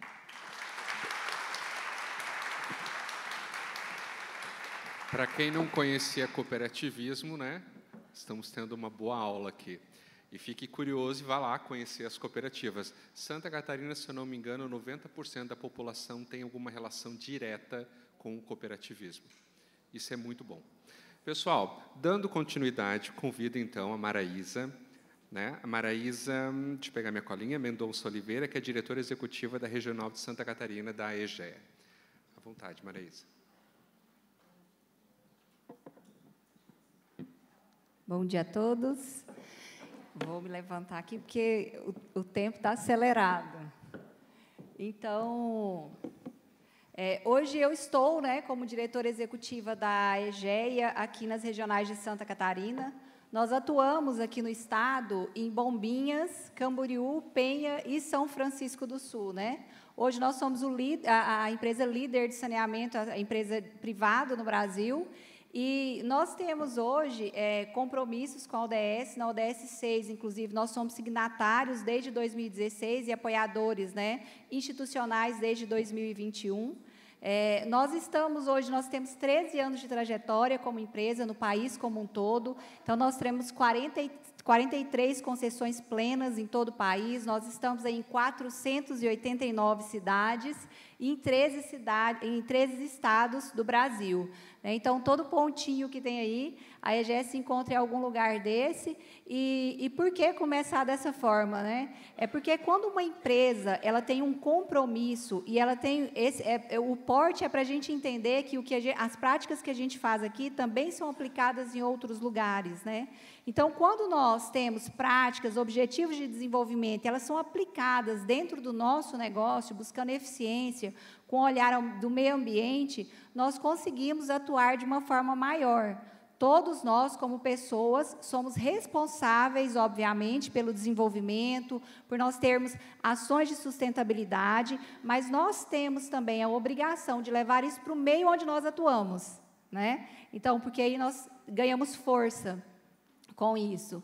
Então, hoje, nas unidades da EGEA em Santa Catarina, nós temos várias ações né, que nós hoje enquadramos dentro da, das ODS. Nós temos hoje 82% de toda a energia que é consumida nas quatro unidades que nós é, atuamos já são de fontes renováveis, ou a eólica ou fonte solar. Nós também temos um projeto de inovação que, inclusive, fechou essa semana, que nós temos a participação de todos os nossos colaboradores discutindo quais são ações ambientais, quais são ações de qualidade de vida, quais são ações que impactam a população de forma inovadora. Isso vem desde o pessoal que trabalha no campo até a alta gestão participando, todo mundo fazendo sprint, estudando a fundo, para poder trazer essas práticas para o nosso dia a dia.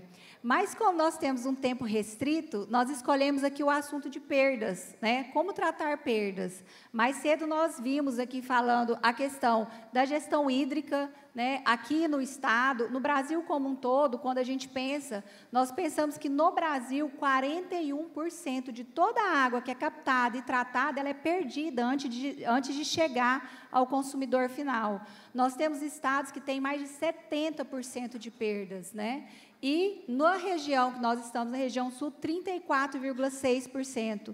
Então, quando a gente pensa, ah, por que tratar perdas? Porque se eu não trato perdas, eu tenho que captar mais, eu tenho que conseguir novas outorgas, eu tenho que buscar novas fontes hídricas. Então, é uma forma de nós fazermos a melhor gestão de um bem que é finito e é de todos. Né? Então, nós temos essa preocupação é, muito abaixo, inclusive, das metas contratuais, nós exercemos perdas hoje. A EGEA tem o Instituto AEGEA, que é o Instituto de Inteligência Socioambiental voltado para ações de desenvolvimento em todo o país, nas áreas que nós atuamos, buscando é, extrapolar as metas é, contratuais. O que é que nós podemos fazer a mais? Qual que é a diferença? Como é que eu impacto positivamente a vida das comunidades onde nós atendemos, das, dos municípios que nós estamos, né? Então, aqui em perdas, por exemplo, quando nós assumimos a operação de bombinhas em 2016, nós tínhamos 45% de perdas e hoje nós estamos com 11,9%. Em Penha, nós baixamos de 39, quase 40 para 25. Camboriú de 34 para 16 e em São Francisco de 40 para 24. Então a ideia aqui é mostrar quais são as práticas, né? Como que a gente faz? A gente sabe que é uma dor do setor, né, perdas, quando a gente fala, é, e, e há uma dor do setor de saneamento, mas também é uma dor ambiental muito forte. Né? A gente vê hoje a tratabilidade da água, dificuldade cada vez mais devido às, devido às poluições. Então, a tratabilidade se torna mais difícil. Então, a gente fazer, nós fazermos o melhor recurso, gerir melhor esse recurso é fundamental para nós, para as futuras gerações, né?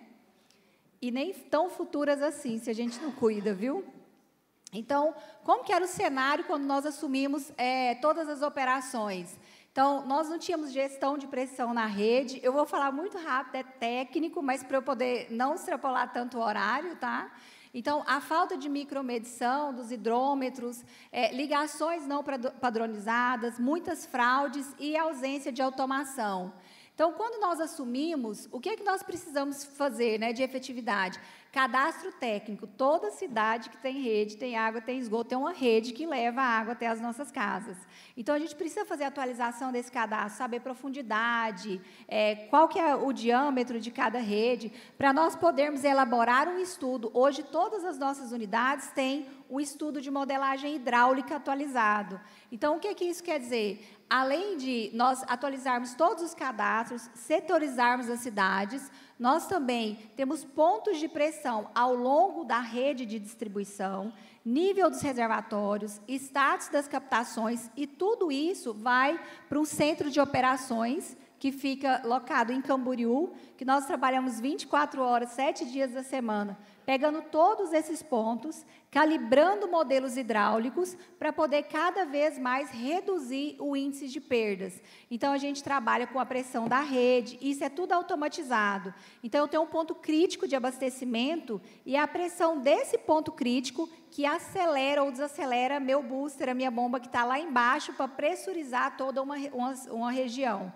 Parece uma ação simples, mas quando nós não fazemos isso, a gente super pressuriza redes e tem vazamentos ocultos. Nós estamos numa região aqui que tem desde rocha a muita areia no litoral. Então, não é todo vazamento que aflora, a depender. Pode, nós podemos ter grandes vazamentos que infiltram. Né? Então, ele infiltra, ele não aflora, e aquela água ali, você perde ela por anos. Né? Hoje, nós, como nós temos um cadastro técnico atualizado, nossas cidades são menores, nós temos contrato de performance de geofone que corre toda a rede, nós conseguimos identificar e sanar esses vazamentos. Mas em unidades, por exemplo, como o Rio de Janeiro, eles estão trabalhando já com imagens de satélite que detecta o cloro da água para poder identificar esses vazamentos não visíveis, porque são redes mais antigas, uma cidade com extensão territorial muito maior. Mas, assim, as tecnologias cada vez mais buscam formas de contribuir, de corroborar com o tema, né? Então, nós também fizemos, isso aqui é a setorização de todas as cidades. Por que, que a gente tem setorização? Nós setorizamos para poder o impacto de um vazamento evitar impactar uma parte maior da cidade, mas também para evitar que se perda mais água ali. E qual que, qual que é o grande segredo, talvez, da gente conseguir fazer essa gestão de perdas? Nós rodamos todo um ciclo. Né? Quando a gente resolve um problema, nós verificamos qual que é a aplicabilidade, qual que foi a melhor estratégia adotada, e isso ele sobe como sendo a forma de atuação. Então, nós estamos constantemente rodando o ciclo de PDCA e avaliando como nós podemos ser melhores. Né? Nós também temos hoje 100% da distribuição de toda a água nas quatro unidades e a micromedição. Nós também temos a, a instalação de medidores para poder e a calibração desses macromedidores para saber quanto que eu estou captando, porque nós temos outorgas, nós temos que fazer esse acompanhamento. Então, tudo isso é feito dentro desse programa, porque sabendo o valor real de quanto eu capto, quanto eu, eu distribuo, eu tenho como atuar sobre meu índice real de perdas, né? Então, desta forma, com essa ação de perdas, nós entendemos aí que nós estamos atendendo a três ODSs: saúde e bem-estar, porque eu estou distribuindo mais água e água é qualidade de vida, né? Nós estamos também com a questão da água potável e saneamento, que é um, um, um pilar muito forte para nós que atuamos no setor, e o consumo responsável. Né? Então, dessa forma, essa mesma, essa mesma metodologia de acompanhar e buscar o que é melhor de replicabilidade dentro do sistema, nós fazemos para todos os temas onde nós atuamos. Né? Passou o verão, quando as nossas cidades bombam, passou o verão, a gente volta e fala como melhorar, como fazer diferente, como ser mais eficiente, como impactar positivamente na vida das pessoas que durante as férias escolheram o nosso estado para poder vir passar férias para estarem aqui. Então, quando a gente tem a preocupação como pessoa, como profissional, de impactar positivamente o ambiente onde nós estamos, entenda que para impactar positivamente o ambiente, nós temos que ser pessoas boas, né? Ninguém que não é bom consegue impactar positivamente o ambiente.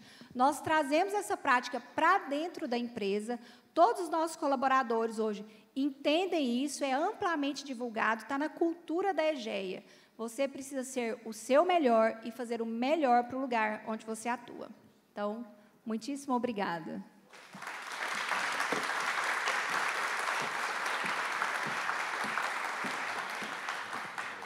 Quanto será que valeria o que temos hoje sem água? Já imaginou? Eu fico, às vezes, eu passo bastante ali na orla de balneário, muito próximo ali do atendimento, né? E eu fico imaginando aqueles prédios que cada apartamento deve custar milhões, Imagina abrir a torneira e não sair água. O impacto disso, né? E eu me sinto mais seguro quando eu vejo empresas cuidando disso, levando esse assunto tão a sério, porque no dia a dia talvez a gente não pare para prestar atenção, porque para nós é muito fácil abrir a torneira, consumir, desperdiçar. Né? Às vezes, aquela velha historinha né, da escola, vai escovar os dentes, fecha a torneira. Né? E às vezes a gente não, não se detém a essa preciosidade que temos todos os dias de maneira tão fácil. À tarde nós vamos escutar um pouquinho a Luana Preto falando, né? E a primeira vez que eu escutei ela falar, ela falou sobre como a água pode excluir, ou melhor, a falta de água pode excluir, né? Pessoas, regiões, cidades. Então é bem importante a gente ter essa consciência. E para fechar o nosso ciclo de falas, convido então o senhor Osmari de Castilhos Ribas, que é diretor superintendente administrativo do Porto Nave. Obrigado. Obrigado pela oportunidade, bom dia a todos. E aqui, pressionado pelo tempo e pelo almoço, eu vou ser bem, bem breve aqui, vou, vou agilizar, mas parabéns aí pela organização. Eu vou falar um pouco, então, de, de Portonave. Nós somos um terminal portuário privado, portanto, mudando um pouco o foco das empresas que, até, que vieram, trazendo um pouquinho. Aí, nós, primeiro, nós estamos na cidade de Navegantes. Navegantes hoje é uma cidade de 86 mil habitantes e uma cidade que teve um crescimento muito expressivo nos últimos anos. Tá? Nós temos a estatística de 2010, 2022, uma cidade que cresceu 42%, muito movimentada, no sentido da atividade portuária, atividade logística, que trouxe uma nova, uma nova dinâmica eh, para a cidade. Isso fez com que ela ganhasse 10 posições no PIB e passou a ser a 14ª economia de Santa Catarina, com projeção de, nos próximos anos, estar entre as 10 maiores. Então, uma cidade que vem tendo, de fato, um crescimento bastante expressivo.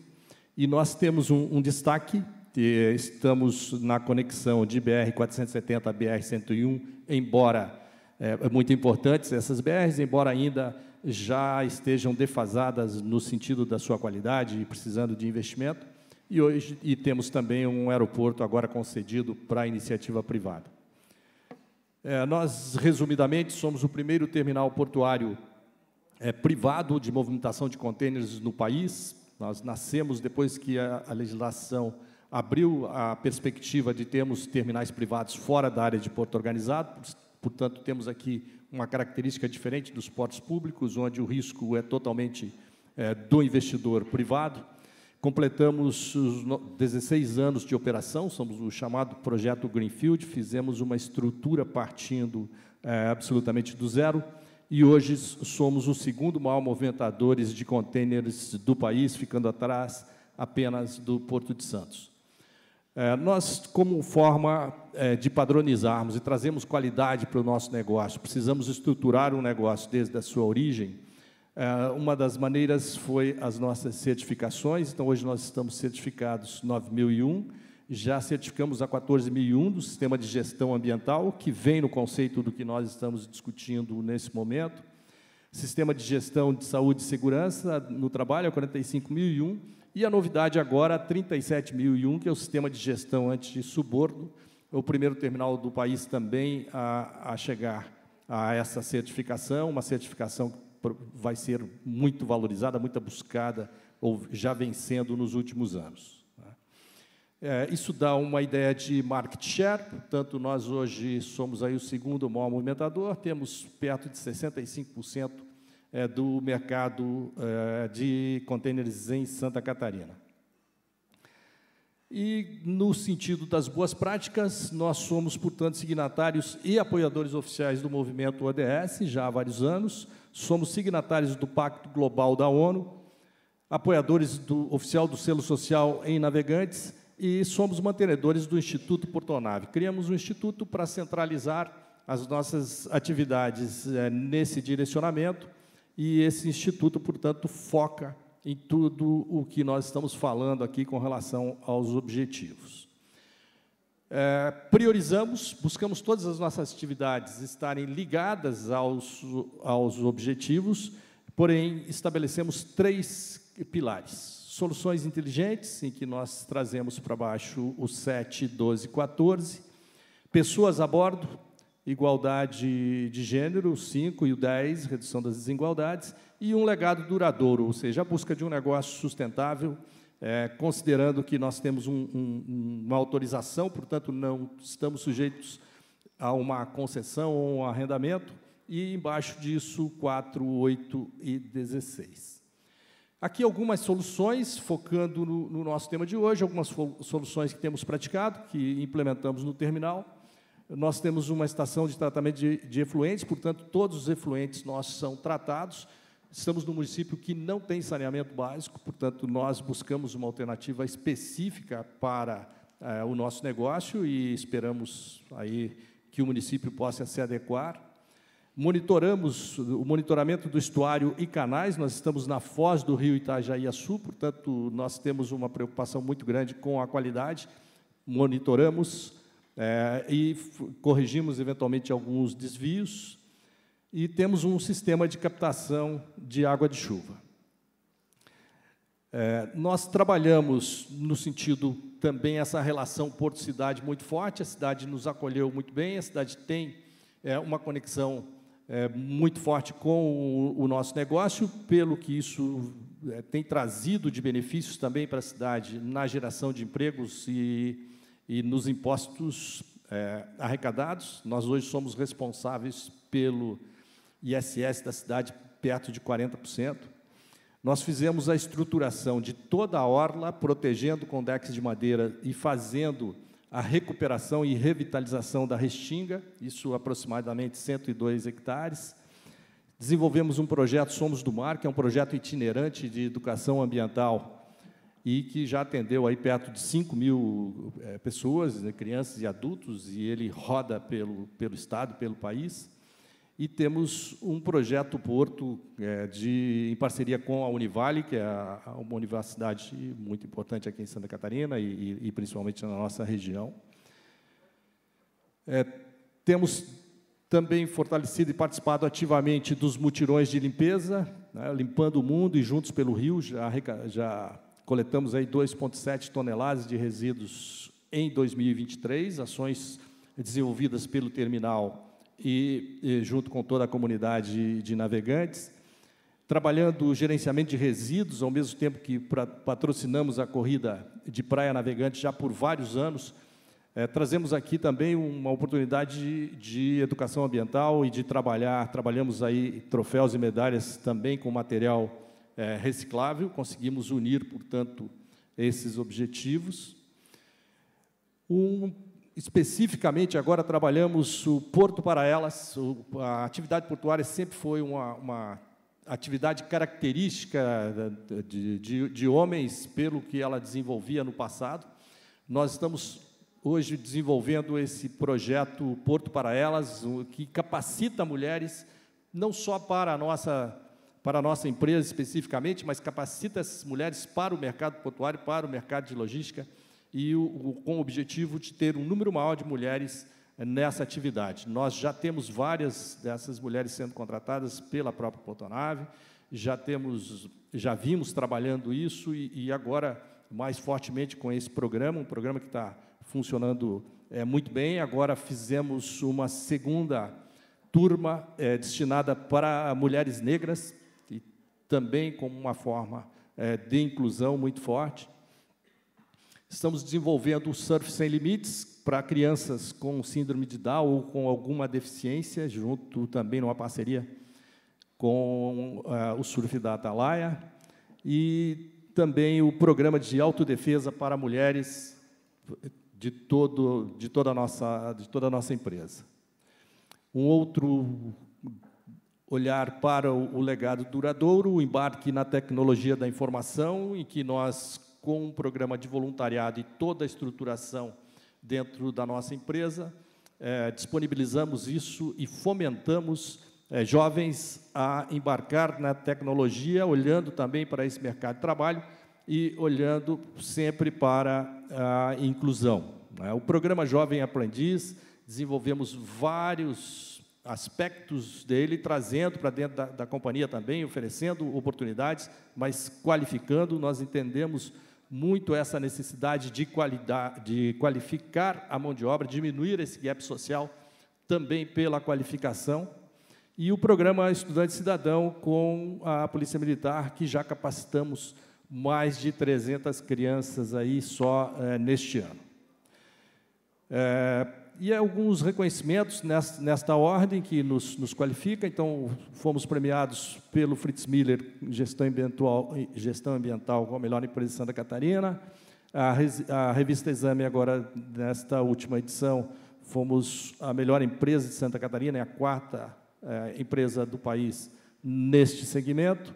Certificamos Great Place to Work e fomos premiados pelo Programa de Apoio à Maternidade também, Empoderamento e Igualdade, é, que nos trouxe também um, um, programa muito, muito interessante para adaptar né, a, nova, a nova fase quando da maternidade e a volta é, dessas mulheres ao, às suas posições de, de trabalho.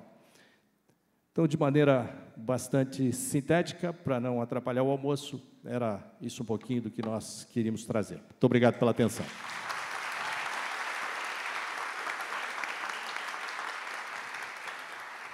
Acho que essas palmas são de entusiasmo, né? É, pessoal, nós estamos encerrando. Eu vou pedir só a, a pressão da Amanda aqui está grande, gente. A Amanda aparece no palco aqui, eu já sei que acabou todo o meu tempo. Babando, achando tudo maravilhoso. Legal, mas eu não podia deixar né, esse público tão seleto. Eu acredito que aqui é só uma pequena amostra do que as empresas em Santa Catarina podem fazer e fazem para que a gente tenha uma sociedade tão próspera, uma sociedade tão promissora para os próximas, as próximas gerações que estão aí. Então, eu só queria encerrar já cruzando aqui considerações finais e uma dica de como o ODS hoje, a Agenda 2030, pode agregar valor às empresas. Então, eu queria fazer uma rodada bem rapidinha, tá, com vocês aqui, Pessoal, todos os QR Codes que estão aqui levam direto às redes sociais dos nossos palestrantes, painelistas. Então, façam uso disso, aproveitem para conhecer mais essas empresas, para manter contato e fazer esse network aqui que faz a diferença. Dani, começando por você. Obrigada. O difícil dessa resposta é que a gente tem que escolher uma coisa para ser breve. Mas eu acho que o que agrega é o poder que as empresas têm de impactar. Falou-se muitas vezes aqui impactar positivamente, impactar positivamente. Eu acredito muito nisso. E quando a gente é, desenvolve ações dentro da empresa, a gente tem poder de impactar muitas pessoas os empregados, as famílias dessas pessoas e todos aqueles que a gente impacta com os projetos que são desenvolvidos. Então, por exemplo, na Arcelor, a gente tem um programa de educação ambiental para a comunidade, a gente participa do programa Produtor de Águas junto com a EGEA no município. Então, acho que quando a gente olha para os ODS e abraça eles como uma causa e entende o quanto isso é importante e realiza na prática, a gente está impactando muita gente. E acho que está fazendo com que cada um, lá no seu pouquinho, colabore também. Então, eu diria que é o poder de olhar para isso como uma, uma bandeira e causar um impacto na sociedade. Muito bom. É, eu acho que, na dúvida, nós temos 17 direcionamentos que vão nos, nos orientar ao que, ao que fazer. Né? Então, falar sobre. Eu sou área, formada em área de comunicação e eu penso que quanto mais a gente fala, mais a gente é, é, evita que o assunto caia no esquecimento ou vire né, um, um, um, quadro na parede. Então, esse aqui é uma, uma, uma oportunidade, as empresas promoverem isso, falarem sobre isso com seus colaboradores, é, para que eles possam reverberar, possam disseminar, compartilhar com as suas famílias essas iniciativas. E, dessa forma, a gente mantém não só o tema vivo, mas a gente compartilha a responsabilidade. Então, claro, fazer todo um planejamento estratégico é, é, de negócio voltado a atender esses, esses 17 objetivos, manter o tema vivo, ou seja, falar sobre, adorei o exemplo da Silvana, de estar destacando o objetivo em que aquele programa, aquela ação está vinculada, porque o que não é visto não é lembrado, né? E a gente só pode também fazer gestão naquilo que a gente mede. Então, quanto mais a gente fala, mais a gente realmente faz esse, gera esse impacto e gera esse movimento. Obrigada, gente. Acho que indo bem, combinando com as duas, assim, eu acho que causar impacto, né? E eu acho que o grande desafio das empresas como um todo, assim, é, nós temos uma grande missão de realmente colocar isso em prática e, e, e poder acelerar todo esse processo. E na dúvida, né, Jos, na hora que a gente materializa lá os 14, os 17 itens, né, uh, isso a gente tem como gerar negócio sustentável a longo prazo, pensando no resultado seguinte das próximas gerações e nos orientando por esses, uh, por esses ODS. Né? Então, eu não tenho dúvida, eles são norteadores. E cada vez mais, quanto mais a gente for falando, né, ah, falando não só para uma área, mas falando não só para a área lá que cuida disso, mas falar para a área de negócio, ah, para os dirigentes, para os conselheiros, fa falar para o pessoal que, que, que nos serve todo dia o nosso maravilhoso cafezinho do dia a dia. É só nisso que realmente eu acredito que a gente consiga uh, arrastar pelo exemplo, assim como o Juliano falou. Acho que a gente não deve se mover se a gente não acreditar. E se a gente consegue fazer isso, a gente arrasta pelo exemplo. Então, acho que os ODS eles vêm bem para nos direcionar e que a gente fica com esses desenhos aí bem materializados. Valeu, então. Obrigada, gente. Bom, há 21 anos na área do saneamento, lá atrás, a gente acreditava em falar com as crianças, porque a criança vai falar para o pai fechar a torneira, né? E hoje eu acredito que a comunicação dentro das empresas privadas aí, não só das empresas privadas, porque quando você está num ambiente que uma empresa privada atua com ODS, a escola também vai ter a, a, a, né, a responsabilidade de atuar, o município também vê, quem trabalha aquilo leva para casa. Então hoje toda empresa ela faz um planejamento buscando qual que é o melhor resultado, como que eu vou ser mais eficiente e como que eu vou convergir isso com os objetivos de desenvolvimento sustentável. Então, isso tem que ser pauta em todo momento, porque quando você pratica isso dentro da empresa, tanto com o pessoal que está lá em campo, quanto com o pessoal que está de autogestão, quando você fala para cima e para baixo usando a mesma linguagem, esse pessoal também leva isso para casa e os filhos deles levam para a escola. Então, assim, a gente tem que acreditar que é um efeito mesmo manada. Se a gente faz, mas a gente não tem que fazer por fazer, sabe? Não é, ah, eu fiz a ação no que se enquadra essa ação que eu estou desenhando, como, qual é o impacto dela antes de eu desenvolver, porque ali eu redireciono. E nós, seres humanos, a gente está aí para isso, e corrigindo rotas. Quem nunca errou, não é? Mas quando a gente para no meio caminho e faz uma avaliação estratégica, a gente sabe aonde ir. Então, que a gente faça isso na empresa, que a gente leve para casa, que a gente. É, eu tenho três filhos pequenos, e na escola deles já se discute isso. Olha que ganho. Na minha época, a gente não falava nada. Então, vamos trazer para o planejamento, vamos conversar, e momentos como esse, né? Que são enriquecedores. É, mais uma vez, obrigado aí pela participação, parabéns, obrigado aí, uma honra dividir aqui esse painel com todos. É, eu acho que esse, esse processo de integração, nós temos, nenhuma empresa está isolada neste mercado, todos estamos conectados, estamos conectados com os nossos fornecedores, com os nossos clientes, com a academia, com a comunidade, e desenvolver esse relacionamento, ele é super importante, porque é, ele nos dá a base para seguir uma base cada vez mais forte.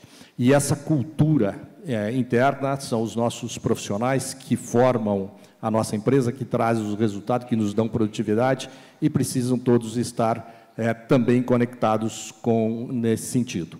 E nós trazemos aqui também um papel importantíssimo, que é o papel de governo, obviamente, e, e sobretudo quando estamos em atividades econômicas, porém reguladas, e temos uma interferência de legislação, temos uma interferência é, da forma de regular essas atividades de maneira que elas tenham possibilidade de crescimento no longo prazo. Então, acho que esse conjunto vai nos levar mais longe e nós somos muito otimistas com relação a isso. Muito obrigado.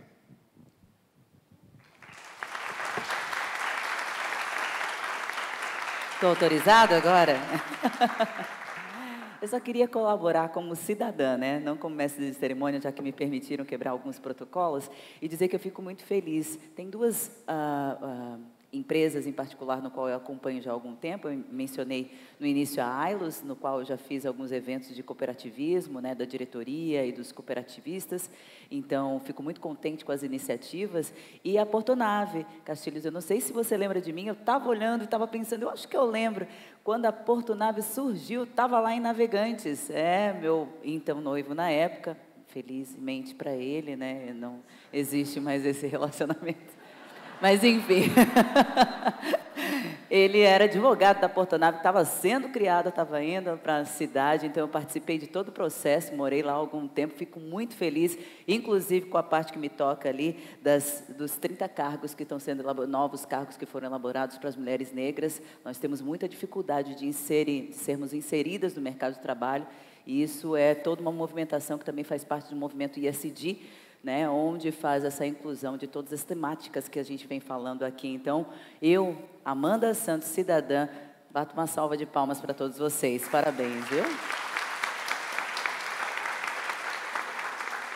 Dito isso, então, vamos falar então com aquele que está aqui falando sozinho com todos nós. Nós vamos pedir uma foto oficial deles em pé aqui, interligados, se puder de mão dada. Vamos fazer aquela interação visual mesmo nessa foto. E aí a gente vai para o almoço, lembrando, gente, que o almoço aqui no Sesc, em frente à Lesc, tá? Quem tiver com crachá, a gente tem uma parceria com o almoço do Sesc, tem desconto para participante do fórum, tá? E a gente volta às duas horas para dar continuidade. Nós temos ainda palestra e três painéis tão enriquecedores como esse, ok? Então eu conto com vocês. Nosso encontro está marcado e aquele boa tarde tem que ser caprichado, hein? Porque vai estar tá todo mundo de barriga cheia.